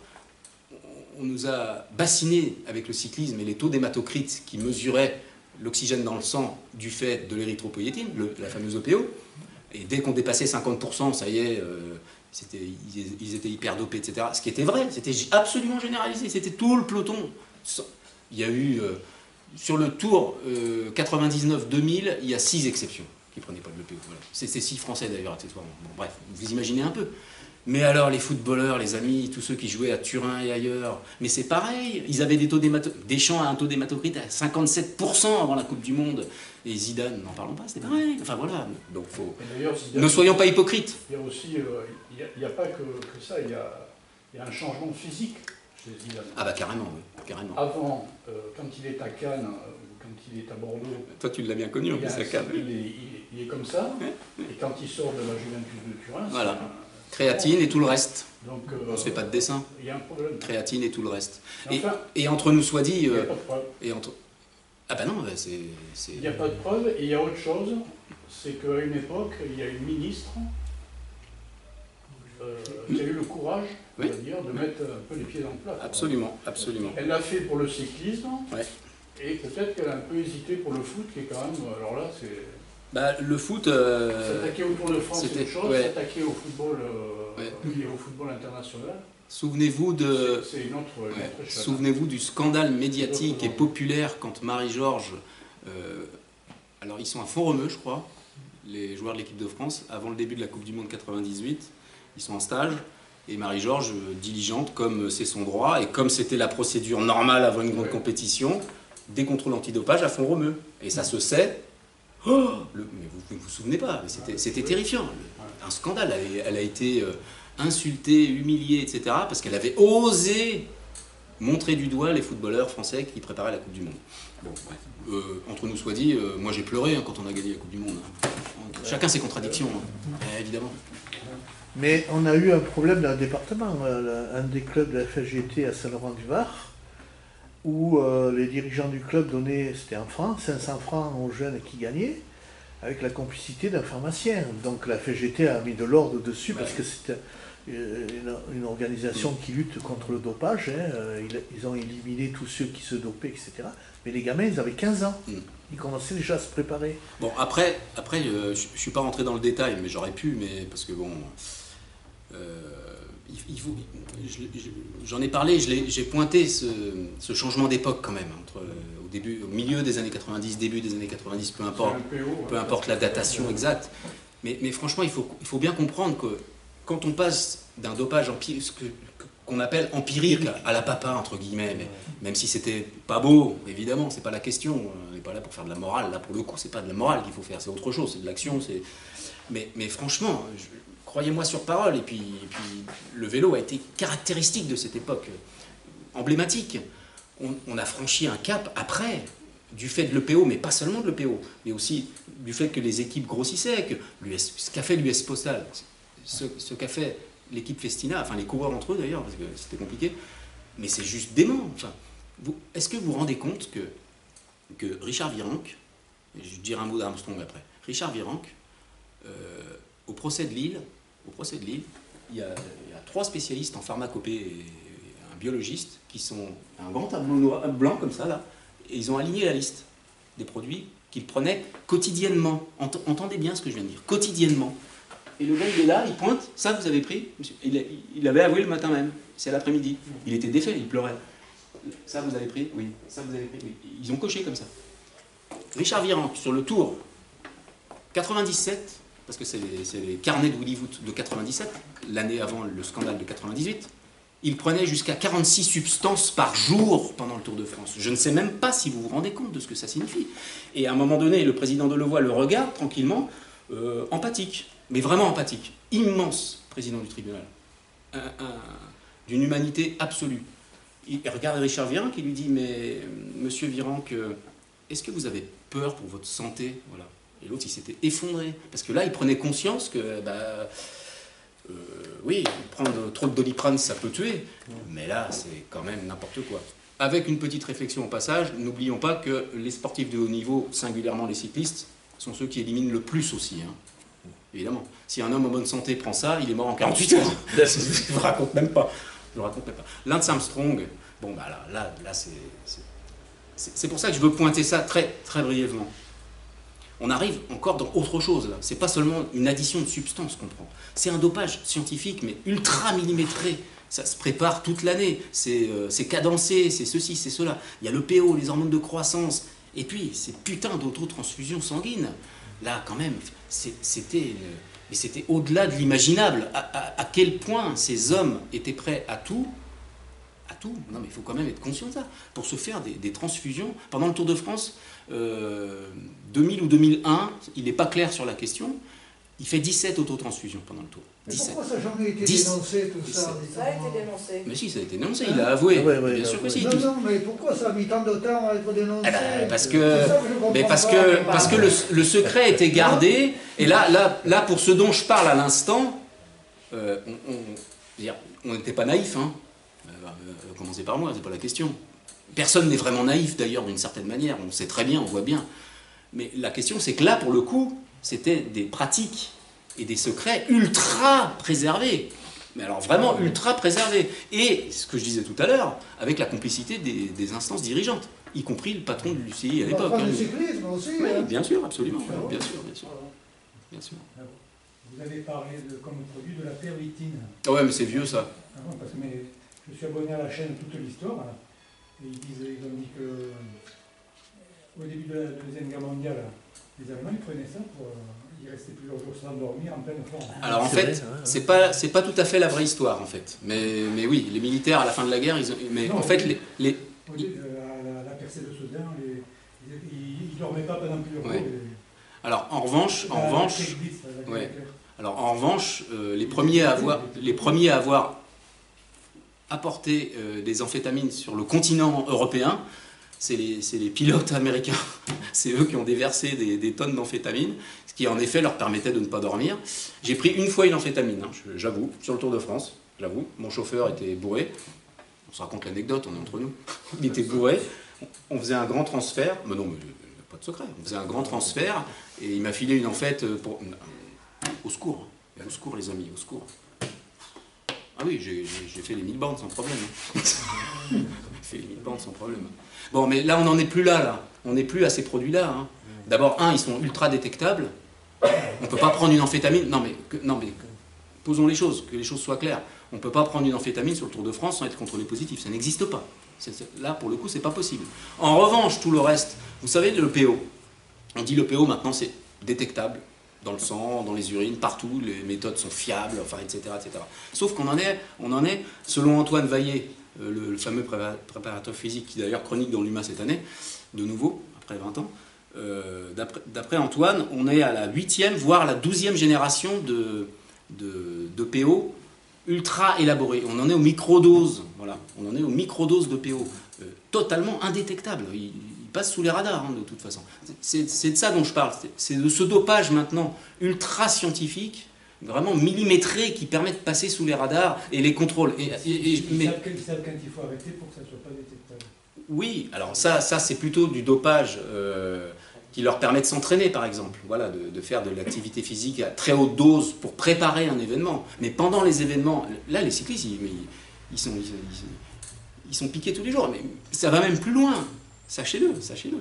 Il y a les contrôles antidopage organisés par le Tour de France et l'Union cycliste internationale tous les jours sur une trentaine de coureurs à peu près, entre les, premiers, les tirés au sort, etc., etc. Mais dans les équipes eux-mêmes, ils, ils font leur propre contrôle. Parce que d'abord, dans les grandes équipes, chez Ineos, chez l'ancienne Sky, etc., etc., bah, ils testent leurs coureurs tous les jours. Mais pourquoi ils les testent? Parce qu'ils savent très bien qu'ils doivent passer sous les radars aussi. Voilà. Donc ils sont ultra, ultra, euh, ultra testés, les, cyclistes. Voilà. Et ça. Alors après, bon, moi je voudrais prendre une minute, pour nuancer un tout petit peu parce que, évidemment, ce dopage scientifique qui, nous amène euh, là, là, on est en 2020, 2000 2019, 2018, 2017. Ce que, de manière empirique, mais quand même avec l'œil un petit peu du spécialiste, et puis je suis pas le seul à penser ça euh, chez les suiveurs euh, du Tour particulièrement, euh, on peut quand même considérer que l'orgie de dopage, telle que je le décrivais tout à l'heure, à la fin des années 90 et pendant toute la période de Lance Armstrong, qui court en gros jusque, je dirais, 2014, 2015, 2016, 2017 presque. Là, on était dans une orgie de dopage, mais, vraiment un truc absolument monumental, malgré l'affaire Festina, etc. etc. Depuis 2-3 ans quand même, euh, du fait de la peur des témoignages, du fait de la peur des perquisitions, parce qu'il y a la pression judiciaire maintenant, c'est pas seulement les contrôles antidopage, du fait que le climat a quand même beaucoup changé, que l'impunité n'est plus la même, etc., etc., on a senti quand même, pas forcément chez, dans certaines équipes ou chez certains cyclistes, mais on a sorti, on, on sent globalement sur, sur l'effet de masse d'un peloton du Tour de France par exemple, que le dopage massif régresse assez considérablement. Je ne suis pas en train de vous dire qu'il n'y a pas de dopage, hein. je suis en train de vous dire tout le contraire, mais je dis que le dopage ultra massif régresse sensiblement. Ça, il suffit de voir les montées d'école, hein. on a les chiffres, hein. on connaît, les, on connaît les, les temps de passage, euh, les montées de, de, de tout l'école, c'est répertorié, sauf l'école inédite bien sûr. On a les temps de Pantani, les temps d'Ian Ulrich, les temps d'Armstrong, on a tous les temps. Euh, tous les temps de ces époques-là, qui, courent, qui courent de 95 à 2010, ils, ne sont plus jamais battus. Ça n'arrive plus. Ça n'arrive plus. Donc on sent quand même qu'il s'est passé beaucoup de choses. Et puis depuis l'affaire Armstrong, euh, oui, dès qu'un coureur est positif, quel qu'il soit, c'est Sauf, exclu, sauf, justice. sauf que dopage mécanique. Tu peux peut-être Ah, oui, alors ça c'est encore autre chose. Ça. Alors ça c'est encore autre chose. oui. Là, l'UCI a sorti une tablette qui soi-disant détecte tout, mais en fait. euh, Ah, ça détecte pas mal manifestement. oui, mais. La question maintenant c'est c'est l'antérieur. Oui, Parce que l'UCI Il y a- il y a- entend parler de la caméra thermique la, oui, oui, qui- je sais. ouais. c'est la seule chose qui détecte à coup sûr. En revanche, on peut s'interroger sur les 20 dernières années. En effet, euh, vélo avec moteur ou pas. Là, franchement, euh, bon, l'un de mes amis, euh, Cyril Guimard, qui quand même euh, connaît la chose, puis connaît bien des secrets, pas seulement de Bernard Hinault et de Laurent Fignon, mais depuis, lui par exemple, je peux le dire publiquement parce qu'il l'a déjà dit, il est à peu près convaincu que Lance Armstrong a bénéficié de ce type de matériel. Il est assez probable, c'est pas sûr à 100%. hein. Philippe Brunel, le journaliste de l'équipe, le grand journaliste de l'équipe, qui quitte l'équipe là d'ailleurs, a écrit un livre il y a trois ans sur la question où il, fait témoigner, c'est un, un mécano slovaque dans mon souvenir, qui aurait fourni Lance Armstrong dès 1999 avec une... Il est hongrois, je crois, l'ingénieur. Peut-être hongrois, oui, peut-être hongrois, oui, voilà. C'est des petits moteurs, le moteur est Oui, oui. tout petit. Voilà. C'est technologie militaire. Oui, oui, oui, c'est le, le top. quoi. exactement. 250 watts. Exactement. Euh, Moi, je vous invite, si vous aimez le vélo, si vous avez un peu d'œil, si vous avez un minimum de lucidité, sans naïveté, regardez YouTube, regardez l'étape de Sestrière sur le Tour 99, la première victoire d'Armstrong dans le Tour. Regardez les images de l'attaque d'Armstrong. Il est assis sur son vélo dans la pente de Sestrière. Euh, franchement, non mais franchement, personne n'y comprend rien. Mais personne, personne. Avec les temps de passage, les fameux 3 km où il attaque là, euh, on a les pourcentages, etc., etc. Tous ceux qui font des calculs et qui regardent, simplement, il suffit de voir. Bon, ouais, alors, il, il a été à l'article de la mort, le pauvre. Euh, il a continué probablement à prendre tous ses protocoles contre le dopage beaucoup plus longtemps que sa rémission. Il était shooté à l'EPO, aux transfusions sanguines, euh, aux hormones de croissance, etc., etc., etc. Eh bien, moi, je vais vous dire, avec l'œil qu'on a, nous, même ça, ça explique pas sa performance ce jour-là sur ce putain de vélo. Mystère, mystère. Moi, mon intuition, c'est que c'est probable, c'est pas sûr, et que si c'est probable, comme Armstrong, c'est Armstrong, et que dans le temps, il divulgue toujours des petits bouts, des petites choses, un jour il le dira. Parce qu'il a aucune raison de ne pas le dire, vu ce qu'il a avoué. Oui, il y, a- y y un très bon dessin dans le canard enchaîné cette semaine. Ah, j'ai pas vu. Pas Il y a un cycliste enfin, Et là le Tour de France. Euh, tu l'as Qui dit à un autre si jamais il y, a, il y a deux gars qui sont testés positifs, euh, toute l'équipe est éliminée. hein. Et l'autre dit ouf, je croyais que tu parlais du contrôle antidopage. Oui, c'est ça. Excellent. Tout ça pour dire, est-ce que tu penses que, bon, d'abord, cette espèce de règlement un peu bizarre de- de- d'élimination d'une équipe parce qu'il y a deux gars qui éventuellement seraient testés positifs, alors que les tests, en plus, on ne sait pas trop s'ils sont. Ah, ils, sont, ils sont doublés là. Bah, enfin, bon. Euh, plus tout le, tout le, le- le- cette espèce de- de- d'atmosphère un peu curieuse qui règne autour, de- autour du tour, euh, est-ce que, est que le tour ne joue pas sa, sa crédibilité définitivement euh, avec... euh, C'est un, peu, ce arrive, hein. c'est un peu ce que j'ai écrit ce matin dans le journal sans aller au bout de ce que je pense, mais on va la, la question va se poser parce que pendant, le plan- pendant le tour, sur le plan sportif, mais évidemment, bien sûr. imaginons que, je sais pas, l'équipe importante soit éliminée, euh, les résultats sont faussés euh, Tout, est faux- tout, serait, tout serait faussé, bien sûr. dès les bien sûr. premières étapes. Bien sûr. euh, Bien sûr. Pour l'instant, ils n'ont pas tellement de courage parce que certes, c'était pas des coureurs, mais les- y a- dans une équipe, là, il y a quand même deux, deux un technicien, un mécanicien et je sais plus ce que c'est l'autre, qui viennent d'être testés positifs hier, quoi. Et du coup, euh, ils n'ont pas fait, ils ont pas appliqué. Alors, c'est pas des coureurs, mais ils sont quand même dans l'équipe, quoi. Ouais. C'est des mécanos. Donc, pour l'instant, ils n'ont pas appliqué ce qu'ils avaient dit. Puisque hier, il y en a eu deux testés positifs. Dans... Ouais, mais alors la, la règle, là, la règle, euh, Alors, défi- ils, la- ils étaient quatre dans Oui, la même chambre, les deux autres sont Là, testés négatifs et les du- quatre. de, de, de techniciens, Ouais. etc. Ouais, Mais la et- règle- la règle a été euh, officialisée ce matin en fait. C'est deux, deux coureurs.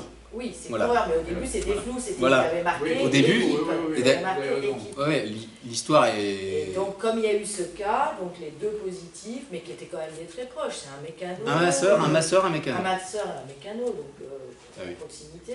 Et ils étaient quatre dans la chambre, les deux autres sont négatifs, mais ils ont évacué les quatre. En fait, ce qui s'est passé sur ce, sur ce cas-là, qu'on évoque, euh, c'est que, en effet, le protocole du Tour, et de l'UCI d'ailleurs, la semaine dernière, disait que deux, deux positifs au Covid dans tout le staff de l'équipe, coureurs compris, toute l'équipe dégage. Et les, les- les équipes se sont un peu révoltées le week-end dernier et en début de semaine. Il y a eu une première réunion ce ma- mardi dernier pour, pour essayer de. Les équipes voulaient évidemment négocier le fait que, en effet, si deux mécanos sont positifs et on enlève les coureurs, c'est c'est quand même bizarre, évidemment. On peut, enfin, on peut s'interroger en tous les cas. On peut s'interroger. Et là, là, ils sont revenus un peu sur ce, cette décision, mais enfin, quand même, quand même, en effet, la règle, c'est si deux coureurs d'une même équipe sont positifs, l'équipe est retirée du tour. Moi, non, mais je, je, je peux même pas répondre à ta question. De, toute façon, rien ne ressemble à rien. Là. Rien ne ressemble à rien. Non, Donc euh, là, il, va- il mieux à la limite euh, ne pas faire. Faire un tour blanc, enfin une année blanche. Bah, euh, la, question- la s'est posée. Mais alors, faire une année blanche, alors là, c'est une partie de la, de- ça peut être une partie de ma réponse. Faire une année blanche, du point de vue du Tour et du point de vue du cyclisme mondial professionnel, c'était impossible. Pour une raison simple, c'est que sans le Tour de France, il n'y a plus la manne financière. Les sponsors se barrent de, leur, des, é- de, de- de l'investissement dans les équipes parce qu'il n'y a plus de visibilité. Tout ça pourquoi? C'est ce que j'ai abordé ici, sans le dire de cette manière-là, mais autrement. Tout ça pourquoi? 190 pays retransmettent le Tour de France. C'est On fait pour les Jeux Olympiques. on a Oui, oui, bien sûr, bien sûr. Mais les Non, mais- Jeux Olympiques, oui, oui. sponsors. Mais euh, voilà. mais depuis, depuis qu'on Les a sponsors, c'est des internationalisé, Ah non, les sponsors, c'est Oui, mais, les enjeux pas les, oui, mais c'est pas la même chose que là, c'est 100% des. Là, par exemple, imaginons le cas. pas des équipes voilà. nationales. Le- C'est pas des équipes Le, nationales. le cas Alors, typique. oui, ouais. aussi, j'avais une question à poser. Euh, pour la première fois depuis X Oui. années, il y aurait Ouais. une équipe euh, qui va vanter les mérites d'un pays euh, Ah oui, qui n'est pas forcément un pays toujours très sympathique dans ce qu'il fait, euh, surtout en ce moment. Ouais. Il y a que le, le Tour de France prend le, dé- prend le départ au moment où Gaza est bombardé tous les jours euh, euh, avec une équipe d'Israël qui est euh, financée par un milliardaire. Enfin, c'est une- Un milliardaire, Est-ce que le, le règlement du. Déjà, au niveau du règlement du Tour de France, je sais pas si... Ah non, non, il- n'est pas transgressé le règlement Alors, il, est, bah, il à un peut. moment donné, pour, il est une hypothèse pour dire Oui, oui, oui. pour lutter contre le dopage. euh, Il y, a- il y a des gens qui préconisaient le fait qu'on revienne aux équipes nationales, Mm. euh, etc. Là, on- et, tout le monde- et le directeur du tour à l'époque a dit non, c'est pas une bonne solution, etc. Et il avait inventé le règlement en disant le règlement nous, nous impo- enfin il faudrait changer le règlement, etc. Alors là, on voit apparaître une équipe avec euh, en gros euh, Mm. Le nom d'un pays, quoi. euh, En dehors du fait que, que c'est un pays qui n'est pas forcément. euh, Bon, d'autant que là, il y a, il y a- il y a- il y a une- à l'évidence une visée, euh, je ne sais pas comment on peut l'appeler, mais c'est enfin, ouais, propagandiste. propagandiste, oui, on peut, on c'est quasiment ça. dire ça euh, dans, dans- dans- dans cette équipe. Alors après, après euh, il n'y a aucun règlement, je pense, qui, qui peut, qui peut sursoir l'apparition d'une d'une équipe telle qu'elle a été constituée là, parce que c'est une équipe privée, hein, c'est un sponsor, hein, c'est un milliardaire qui investit, je veux dire. Après, après, il y a, y a- est-ce que c'est une atteinte à, la morale sportive d'utiliser une équipe pour faire la promotion d'un État soi-disant euh, démocratique, parce que c'est leur truc, hein, c'est leur truc. Ils sont là, ils sont là, ils sont dans le cyclisme mondial et particulièrement sur le Tour de France, où il y a quand même, on le sait, beaucoup d'organisations pour le boycott, etc., etc., pour pour faire, comme tu le dis, de la propagande et dire l'État d'Israël n'est pas un État assassin, agresseur, machin, etc., etc., etc. Moi, à mon avis, il n'y a aucun règlement qui peut empêcher ça, hélas. Voilà. Après, après, après, euh, cette équipe, elle est qualifiée d'office sur le Tour de France. Il faut l'avoir en tête. Hein. Ce n'est pas le Tour de France qui décide des équipes. Le Tour de France, ils sont obligés de prendre les 18 premières équipes mondiales classées Ah oui, par l'Union cycliste internationale. Et après, ils ont quatre équipes qu'ils peuvent inviter, des wildcards. Et en général, c'est plutôt des équipes françaises, bien sûr, qui, qui ne sont pas, qui n'ont pas assez de points pour être qualifiées d'office sur le Tour de France. Cette équipe est très puissante. hein. Attention, elle, elle a- elle a du fric. Hein, Il y a, euh, il y a Froome. bah, Froome a signé chez eux là pour l'année prochaine. hein. Attention. Hein. Ils Donc, n'ont euh, jamais couru, couru- ils n'ont jamais euh, couru euh, Paris-Nice ou d'autres. Ah mais si, mais là, gens, ils ont couru ce- mais bien sûr, cette ils, équipe, ils, ils- ont déjà eu des coureurs qui ont couru dans. Oui. ils sont dans le peloton professionnel depuis cette année. Ils ont Ah, fait, oui. ils ont fait les principales courses là, depuis le début Ils de l'année, ils bien ont sûr. couru dans Paris-Nice aussi. Mais bien sûr, bien sûr. Ah bon C'est leur première année, Les voilà. coureurs ne sont pas très connus quand même. Euh, non, pas trop, mais mais enfin là ils ont fait un gros coup en achetant Frome pour l'année prochaine, mais bon. Euh, je peux pas trop répondre à ta question, Philippe, parce que je pense que sur le plan des règlements, il n'y a rien à faire. En revanche, il pourrait très bien, à un moment, enfin, évidemment, tu, tu te doutes bien, si j'étais patron du Tour, euh, j'interdirais à cette équipe de délivrer des messages pseudo-politiques. Euh, ça me paraît juste une évidence, euh, surtout de cette nature. Bon, voilà. Après, est-ce qu'ils vont s'en mêler? Je n'en sais rien du tout. Je n'en sais pas. Ce qui est sûr, c'est que ça peut devenir une petite affaire dans toutes les affaires du Tour là cette année. hein, c'est clair. C'est clair. Parce que c'est vraiment. euh, c'est un petit scandale, cette équipe. C'est un petit scandale, cette équipe. Et c'est pas l'équipe qui a un scandale, c'est leur communication. hein, C'est bien ça, il faut Oui, non, je veux dire, les organisateurs du tour, ils prennent un risque aussi. Hein. Avec cette équipe? Ah bah oui. Ah, bien sûr, bien sûr. Parce qu'on ne sait pas ce qui va se passer non plus. hein. Bien sûr, bien sûr, bien sûr. Bon, après, euh, n'oublions pas l'histoire hein, euh, récente. hein. Astana a une équipe professionnelle avec Vinokourov, qui n'était pas le moins dopé du monde. Grand escroc devant l'éternel. Puis en plus, un sale type. Euh, donc euh, Astana, euh, il communiquait sur, euh, sur Astana. Là, pour le coup, euh, c'était une communication presque officielle, pareil. pas, de, pas de nature politique. Oui, oui. En- J'entends bien, bien sûr, tu vois. Mais c'était, ouais. Ça me revient au nom de l'ingénieur Stefano Vargas, Ah oui, c'est ça, voilà. l'ingénieur Mm. hongrois, Mm. qui a lancé le moteur de... Euh, après, après, sur le Tour 2020, bon, euh, bon moi, je, je- On rentre dedans, là, si je puis dire, mais évidemment, euh, ah, rien, rien ne ressemble à rien. C'est pas compliqué. La préparation des coureurs, ça a été n'importe quoi.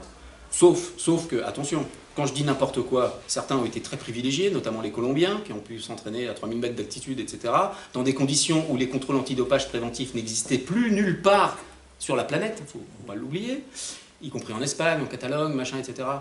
Donc là-dessus, euh, le reflux du dopage, on verra après le tour. hein. On, se reverra, on en reparlera. J'ai un très gros doute. Je pense que certaines équipes, dans la préparation de certains coureurs, ont dû, ont dû bien se lâcher là, profitant euh, du confinement et du déconfinement dans certaines zones, etc., pour bien préparer leurs coureurs à l'abri, des regards, euh, de l'attention et surtout des contrôles. Surtout des contrôles. Il y a, eu quasiment aucun contrôle, inexistant dans tous les sports pendant plus de trois mois. C'est du jamais vu depuis euh, quand même longtemps. Quoi. Maintenant qu'ils sont très surveillés quand même, vous savez, ils sont pistés, surveillés. Si on ne répond pas une fois, deux fois, trois fois, on peut être sanctionné. Euh, euh, Il y a des suspensions d'un an. Non, c'est quand même sérieux, c'est lourd. Là, que dalle. Hein. Là, pendant trois, quatre mois, que dalle. Donc, euh, ouais, ça, c'est une chose. Donc, c'est quand même important. Bon, ils ont eu une préparation, on ne sait pas très bien, ça va c'est très inégal. Après, le tour, il, va se passer au mois de, au mois de septembre hein, quand même. C'est pas le même climat. hein. Et c'est le tour le plus montagneux depuis, mais probablement 89. Hein. Là. Probablement 89. Non, non, mais euh, 29 cols, enfin, c'est, tous les deux jours, il y a des étapes de montagne. Enfin, c'est un, tour taillé pour on ne sait pas qui d'ailleurs. hein. non, mais sans déconner, on ne sait pas qui. hein. Donc c'est, très bizarre. Après, après, sur le plan symbolique, bon, ça, je l'ai beaucoup abordé dans mon intervention parce que c'est ce qui me tient à cœur, tout ça, c'est ce qui m'habite. Sur le plan symbolique, oui, c'est le premier tour de l'histoire, hors guerre, bien sûr, c'est le premier tour de l'histoire hors des congés payés. Alors là, franchement, et c'est un Tour de France qui part, et là on en a maintenant confirmation depuis quelques jours et plus encore depuis hier, qui va donc partir en, sans public, en, en éjectant le public. Alors, on comprend, évidemment, non mais on comprend, je ne suis pas en train de critiquer certaines des décisions, c'est pas le problème. Je dis simplement que sur le plan symbolique et de fait de l'intérêt du Tour aussi, ce que tu disais, c'est-à-dire, est-ce qu'il ne va pas se décrédibiliser quand même? Euh, Là, vous vous rendez compte? Nice a payé combien là Je sais plus. là. Je pourrais avoir le tour pendant trois jours. Bon, non mais non, mais je- bon, bon, c'est comme ça, c'est bon, c'est comme ça. Ils ont payé, ok. Il y a personne au départ, personne à l'arrivée?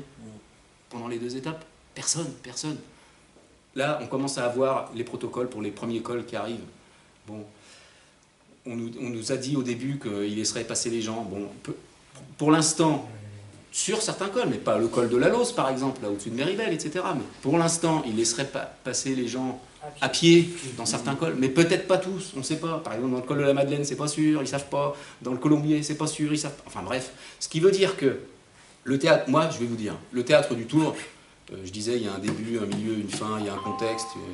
Il y a du roman, il y a, il y a toujours quelque chose à raconter. Bon, cette année, c'est particulier. Euh, Qu'est-ce qui- va rester à part la course et cette mythologie du tour que moi j'essaye toujours de ramener C'est c'est aussi pour ça que je suis toujours sur le tour, parce que j'essaye toujours de ramener pas seulement l'histoire, mais aussi ce qui, est, encore vivant dans cette mythologie et, cet amour charnel du tour par son public. Là, il y a une brisure absolument considérable. Et j'ajoute, mais ça c'est plus propre au travail de journaliste, de suiveur, etc., etc. J'ajoute, et ça, ça me semble-t-il l'un des principaux dangers, c'est que profitant du Covid, mais quand je dis profitant, je mets des guillemets quand même, parce que évidemment, il faut des mesures sanitaires, et puis c'est drastique, hein, salle de presse, machin, tout ça. Je vous raconte même pas, il, faut faire un test Covid, et on passe d'abord chez le médecin avant d'être accrédité, enfin bref, etc., etc. Mais là, là, les journalistes que nous sommes, et, et cette dérive, se constate, ça je pourrais vous en parler pendant des heures, cette dérive se constate depuis déjà des années. Moi je peux vous raconter euh, comment on suivait le tour il y a 10 ans encore, 20 ans, 30 ans, c'est plus la même chose, on n'est plus sur la course, euh, c'est fini. Il n'y a plus de journalistes, presse écrite, accrédité, plaque verte, c'était les fameuses plaques vertes dans la course. C'est-à-dire on était dans le peloton, on se laissait doubler par les échappées, etc. etc., etc. Donc,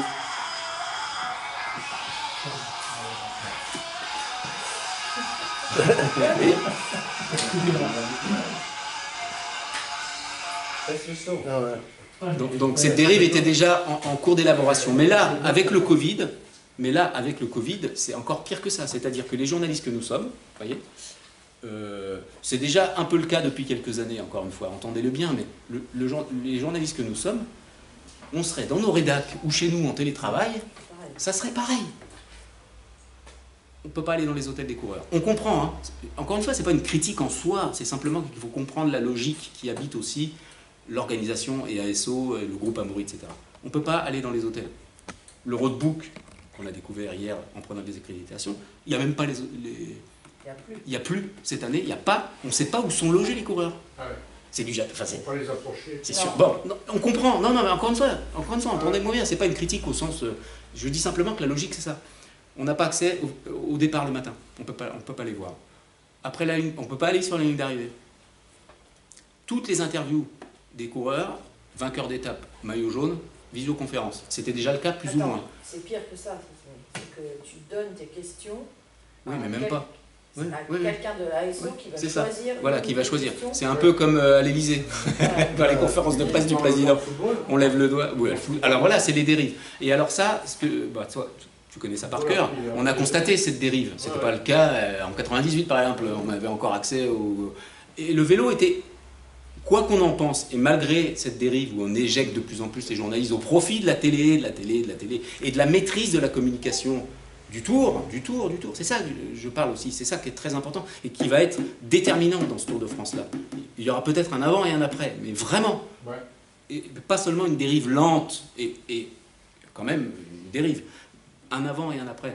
C'est que là, ils, ils vont profiter de ça pour, pour verrouiller toute la communication. On n'a plus accès à rien, voilà. On est complètement éjecté. Donc la nature même du travail peut s'en ressentir. Parce que le vélo, tu parlais du foot, c'est tout à fait vrai. Le foot, c'est devenu comme ça. hein. C'est les zones mixtes, les machins, les trucs. On n'a absolument plus accès pour voir euh, des footballeurs dans des hôtels faire des longues interviews, etc. Sauf l'équipe, rendez-vous, machin, enfin bref, etc. Dans le vélo, Ce n'était pas comme ça encore jusqu'à l'an dernier. C'est-à-dire quand on se met d'accord, on fait des interviews, on peut aller, dans les hôtels, vous pouvez prendre du temps, etc., etc. Là, c'est fini cette année. Alors, évidemment, il y a des raisons objectives. Attention, hein, je dis pas ça. Mais là, ça, ça provoque quelque chose qui, qui peut être assez fatal pour la suite. Moi, je pense que la dernière chose qui reste, c'est la gratuité du spectacle. Ah bah ça oui. Bah oui, mais sans Et public. c'est euh, une retransmission par un service public de télévision. Oui, C'est sauf vrai. que justement, c'est ce que Et j'allais ça va dire. être, les- sauf à mon que- avis, ça- c'est c'est là qu'il va y avoir une grosse bataille. C'est euh, est-ce que le vélo va pas devenir euh, un spectacle payant? Par Bah, l'intermédiaire des télévisions où il n'y aura pas de public, comme on voit actuellement en football. C'est possible. Euh, on prend le prétexte de- du Covid. Euh, moi, j'ai trouvé scandaleux le- la finale de la Coupe, la coupe d'Europe, euh, où on a un stade de 80 000 places. Vide. On ne peut pas foutre 10 000 spectateurs dans un stade de 80 000 Vide. places ou 20 000 Alors spectateurs. du fou. Alors que, bon, enfin, hein, bon. Non mais Donc, donc, il y a des, on pousse à ça. Comme on pousse dans les entreprises au télétravail. Actuellement, on fait une pub sur le télétravail qui est absolument extraordinaire, euh, Mm. formidable. Euh, la France va être révolutionnée, etc. Comme il y a une, une- on pousse euh, du côté des écoles. euh, on, on- on a l'impression qu'on fait tout actuellement. Je ne suis pas complotiste, mais j'ai l'impression qu'on fait tout pour que les gens ne, ne mettent pas leurs gosses à l'école.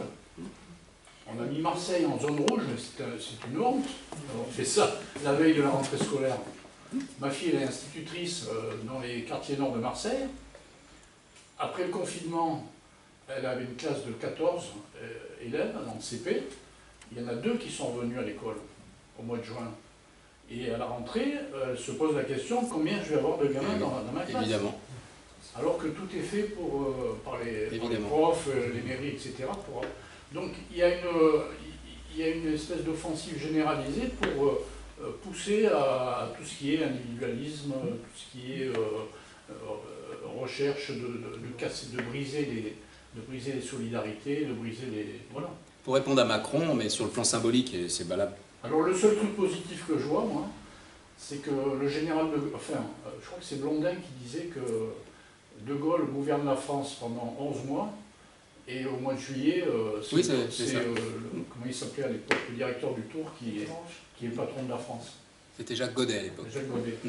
Et pour, Euh, le seul truc que je vois de positif, c'est que Macron, Macron euh, pendant la rentrée sociale, euh, ne gouvernera pas la France. Quoi.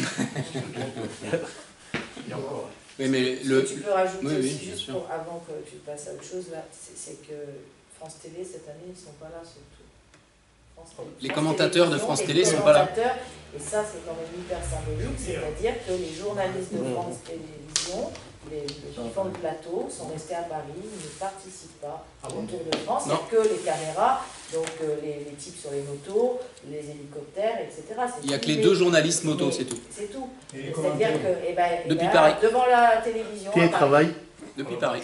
et donc les plateaux qui vont être Depuis Paris. organisés, vous savez, le- après le tour, etc., euh, et même les commentateurs pendant la course, ils sont à Paris, ils ne sont plus sur place. Donc euh, continuer sur ce que tu disais, oui, oui, oui. c'est-à-dire sur Ah, l'exclusion petit à petit, et sur le vé- on verrouille de plus en plus. Et on nous interdit de plus en plus, et mais jusqu'à la symbolique que les commentateurs de la course à la télé sont restés à Paris. Mais, tu-. Philippe, pour répondre massivement à ta, ton interpellation de tout à l'heure, en fait, moi, moi je suis très heureux d'être sur ce tour, hein, c'est pas la question. Puis je suis toujours heureux de venir sur le tour parce qu'il y a toujours des, des choses euh, humaines, dramatiques, etc. à raconter. Et puis c'est jamais pareil, et en même temps c'est toujours pareil. Enfin bon, bref, on mais là c'est tellement particulier que euh, euh, la seule question qui mérite réponse, pourquoi ont-ils maintenu le tour? C'est ce que tu disais d'une certaine manière. Pour- mais pour- pourquoi ont-ils maintenu ce putain de tour dans, cette condition, dans ces conditions-là? C'est-à-dire le plus grand sportif, le plus grand spectacle sportif mondial gratuit, sans public, en gros. Un, du fait qu'il n'y a pas de congé payé. Je suis désolé, donc a priori, euh, a priori Sarkozy dirait on va voir si la France travaille. non, je plaisante, mais. Et deux, et deux avec les restrictions liées au Covid qui se durcissent là de- depuis hier encore. Et c'est possible que ça se durcisse encore plus on avance dans la course parce que euh, le virus il circule, hein, euh, on voit bien, les départements tombent en rouge les uns derrière les autres, etc. Enfin bref, donc c'est un cafarnaum sans nom. Donc pourquoi? Mais il n'y a qu'une réponse à ça, c'est celle que je te formulais tout à l'heure. Ils sauvent la manne, ils sauvent la manne des retransmissions, point barre, point barre, des droits télé. Ils ne font que ça. Et en sauvant la manne des droits télé, c'est pas seulement parce que le groupe Amaury a encore une fois cette année envie de faire 250 millions d'euros de chiffre d'affaires net grâce au seul Tour de France, c'est aussi parce que en cascade derrière, ils ont été poussés par l'Union cycliste internationale et les grands groupes sportifs, y compris les groupes français d'ailleurs, les, équipes françaises, qui leur ont fait comprendre, à tort ou à raison, je ne sais pas, je ne sais pas, j'ai pas la clé d'histoire, que si le tour n'avait pas lieu, comme c'est la seule vraie caisse de résonance, eh bien, ça serait une catastrophe derrière et que plein de sponsors allaient arrêter leur participation. Je parle des sponsors des équipes, hein. je ne parle pas des sponsors du tour, évidemment. Eux, c'est pas un problème. hein. D'ailleurs, meilleure anecdote, une petite anecdote d'hier. d'hier. On va chercher des accrédites, etc. Et il y a un gars d'une caravane, un copain qui fait la com d'une marque publicitaire de la caravane. On sait que la caravane, c'est 40% au lieu de 100%. euh, Il reste que 40% de la caravane pleine et entière euh, parce qu'ils moins distribuer, ils ont réduit la voilure, etc. etc. Bah, évidemment, qui ils ont gardé dans la caravane? Bah, Ils ont gardé les principaux sponsors du Tour, c'est-à-dire le maillot vert, maillot jaune, Crédit Lyonnais, machin, etc. Et tous les grands, grands, grands sponsors du Tour qui raquent 1 million, 2 millions, 3 millions par an au Tour de France pour euh, avoir leur nom, euh, maillot à poids, ceci, cela, Skoda, etc., etc., etc. Mais les autres qui payent leur entrée dans la caravane, ça c'est un truc extraordinaire. Cela dit, on va se dire, après tout, il n'y aura pas de public, donc on s'en fout. Mais ceux qui ont payé les 60% qui ne seront pas présents dans la caravane, et certains l'ont appris cette semaine seulement, cette semaine, mercredi encore, les 60% qui ne seront pas dans la caravane, bah eux, on leur a pas demandé leur avis. hein. Ils payent leur entrée dans la caravane, il y a une communication officielle, mais ils ne seront pas dans la caravane. Et ils n'ont pas eu le droit de choisir. Pas eu le droit. Pas le droit. Petite anecdote au passage, hein. rien du tout, qui n'a l'air de rien comme ça. On comprend la logique, hein. il n'y a pas besoin d'être hein. on comprend la logique. On comprend la logique. On va, on va. Est-ce que dans les pelotes de Volton, ils vont devoir garder un mètre de distance Non Mais c'est une bonne question, parce que même, même, en, même en plein air, euh, euh, les, les- les cyclistes, ils se frottent, hein, ils sont... Bon, il faut savoir terminer une conférence. Ben, on, on te rappellera l'année prochaine pour le prochain tour. Ouais, peut-être. Merci. Ouais, il démarrera pas de Nice, je pense. hein, Non. Euh, Il part de Brest, De donc, euh, Jean-Emmanuel, on te remercie. Merci à vous. Euh, et puis, euh, bon Tour de France, hein, Merci. parce qu'on a quand même le plus beau pays du monde. Ah oui, ça, ça, ça ne change pas, ça.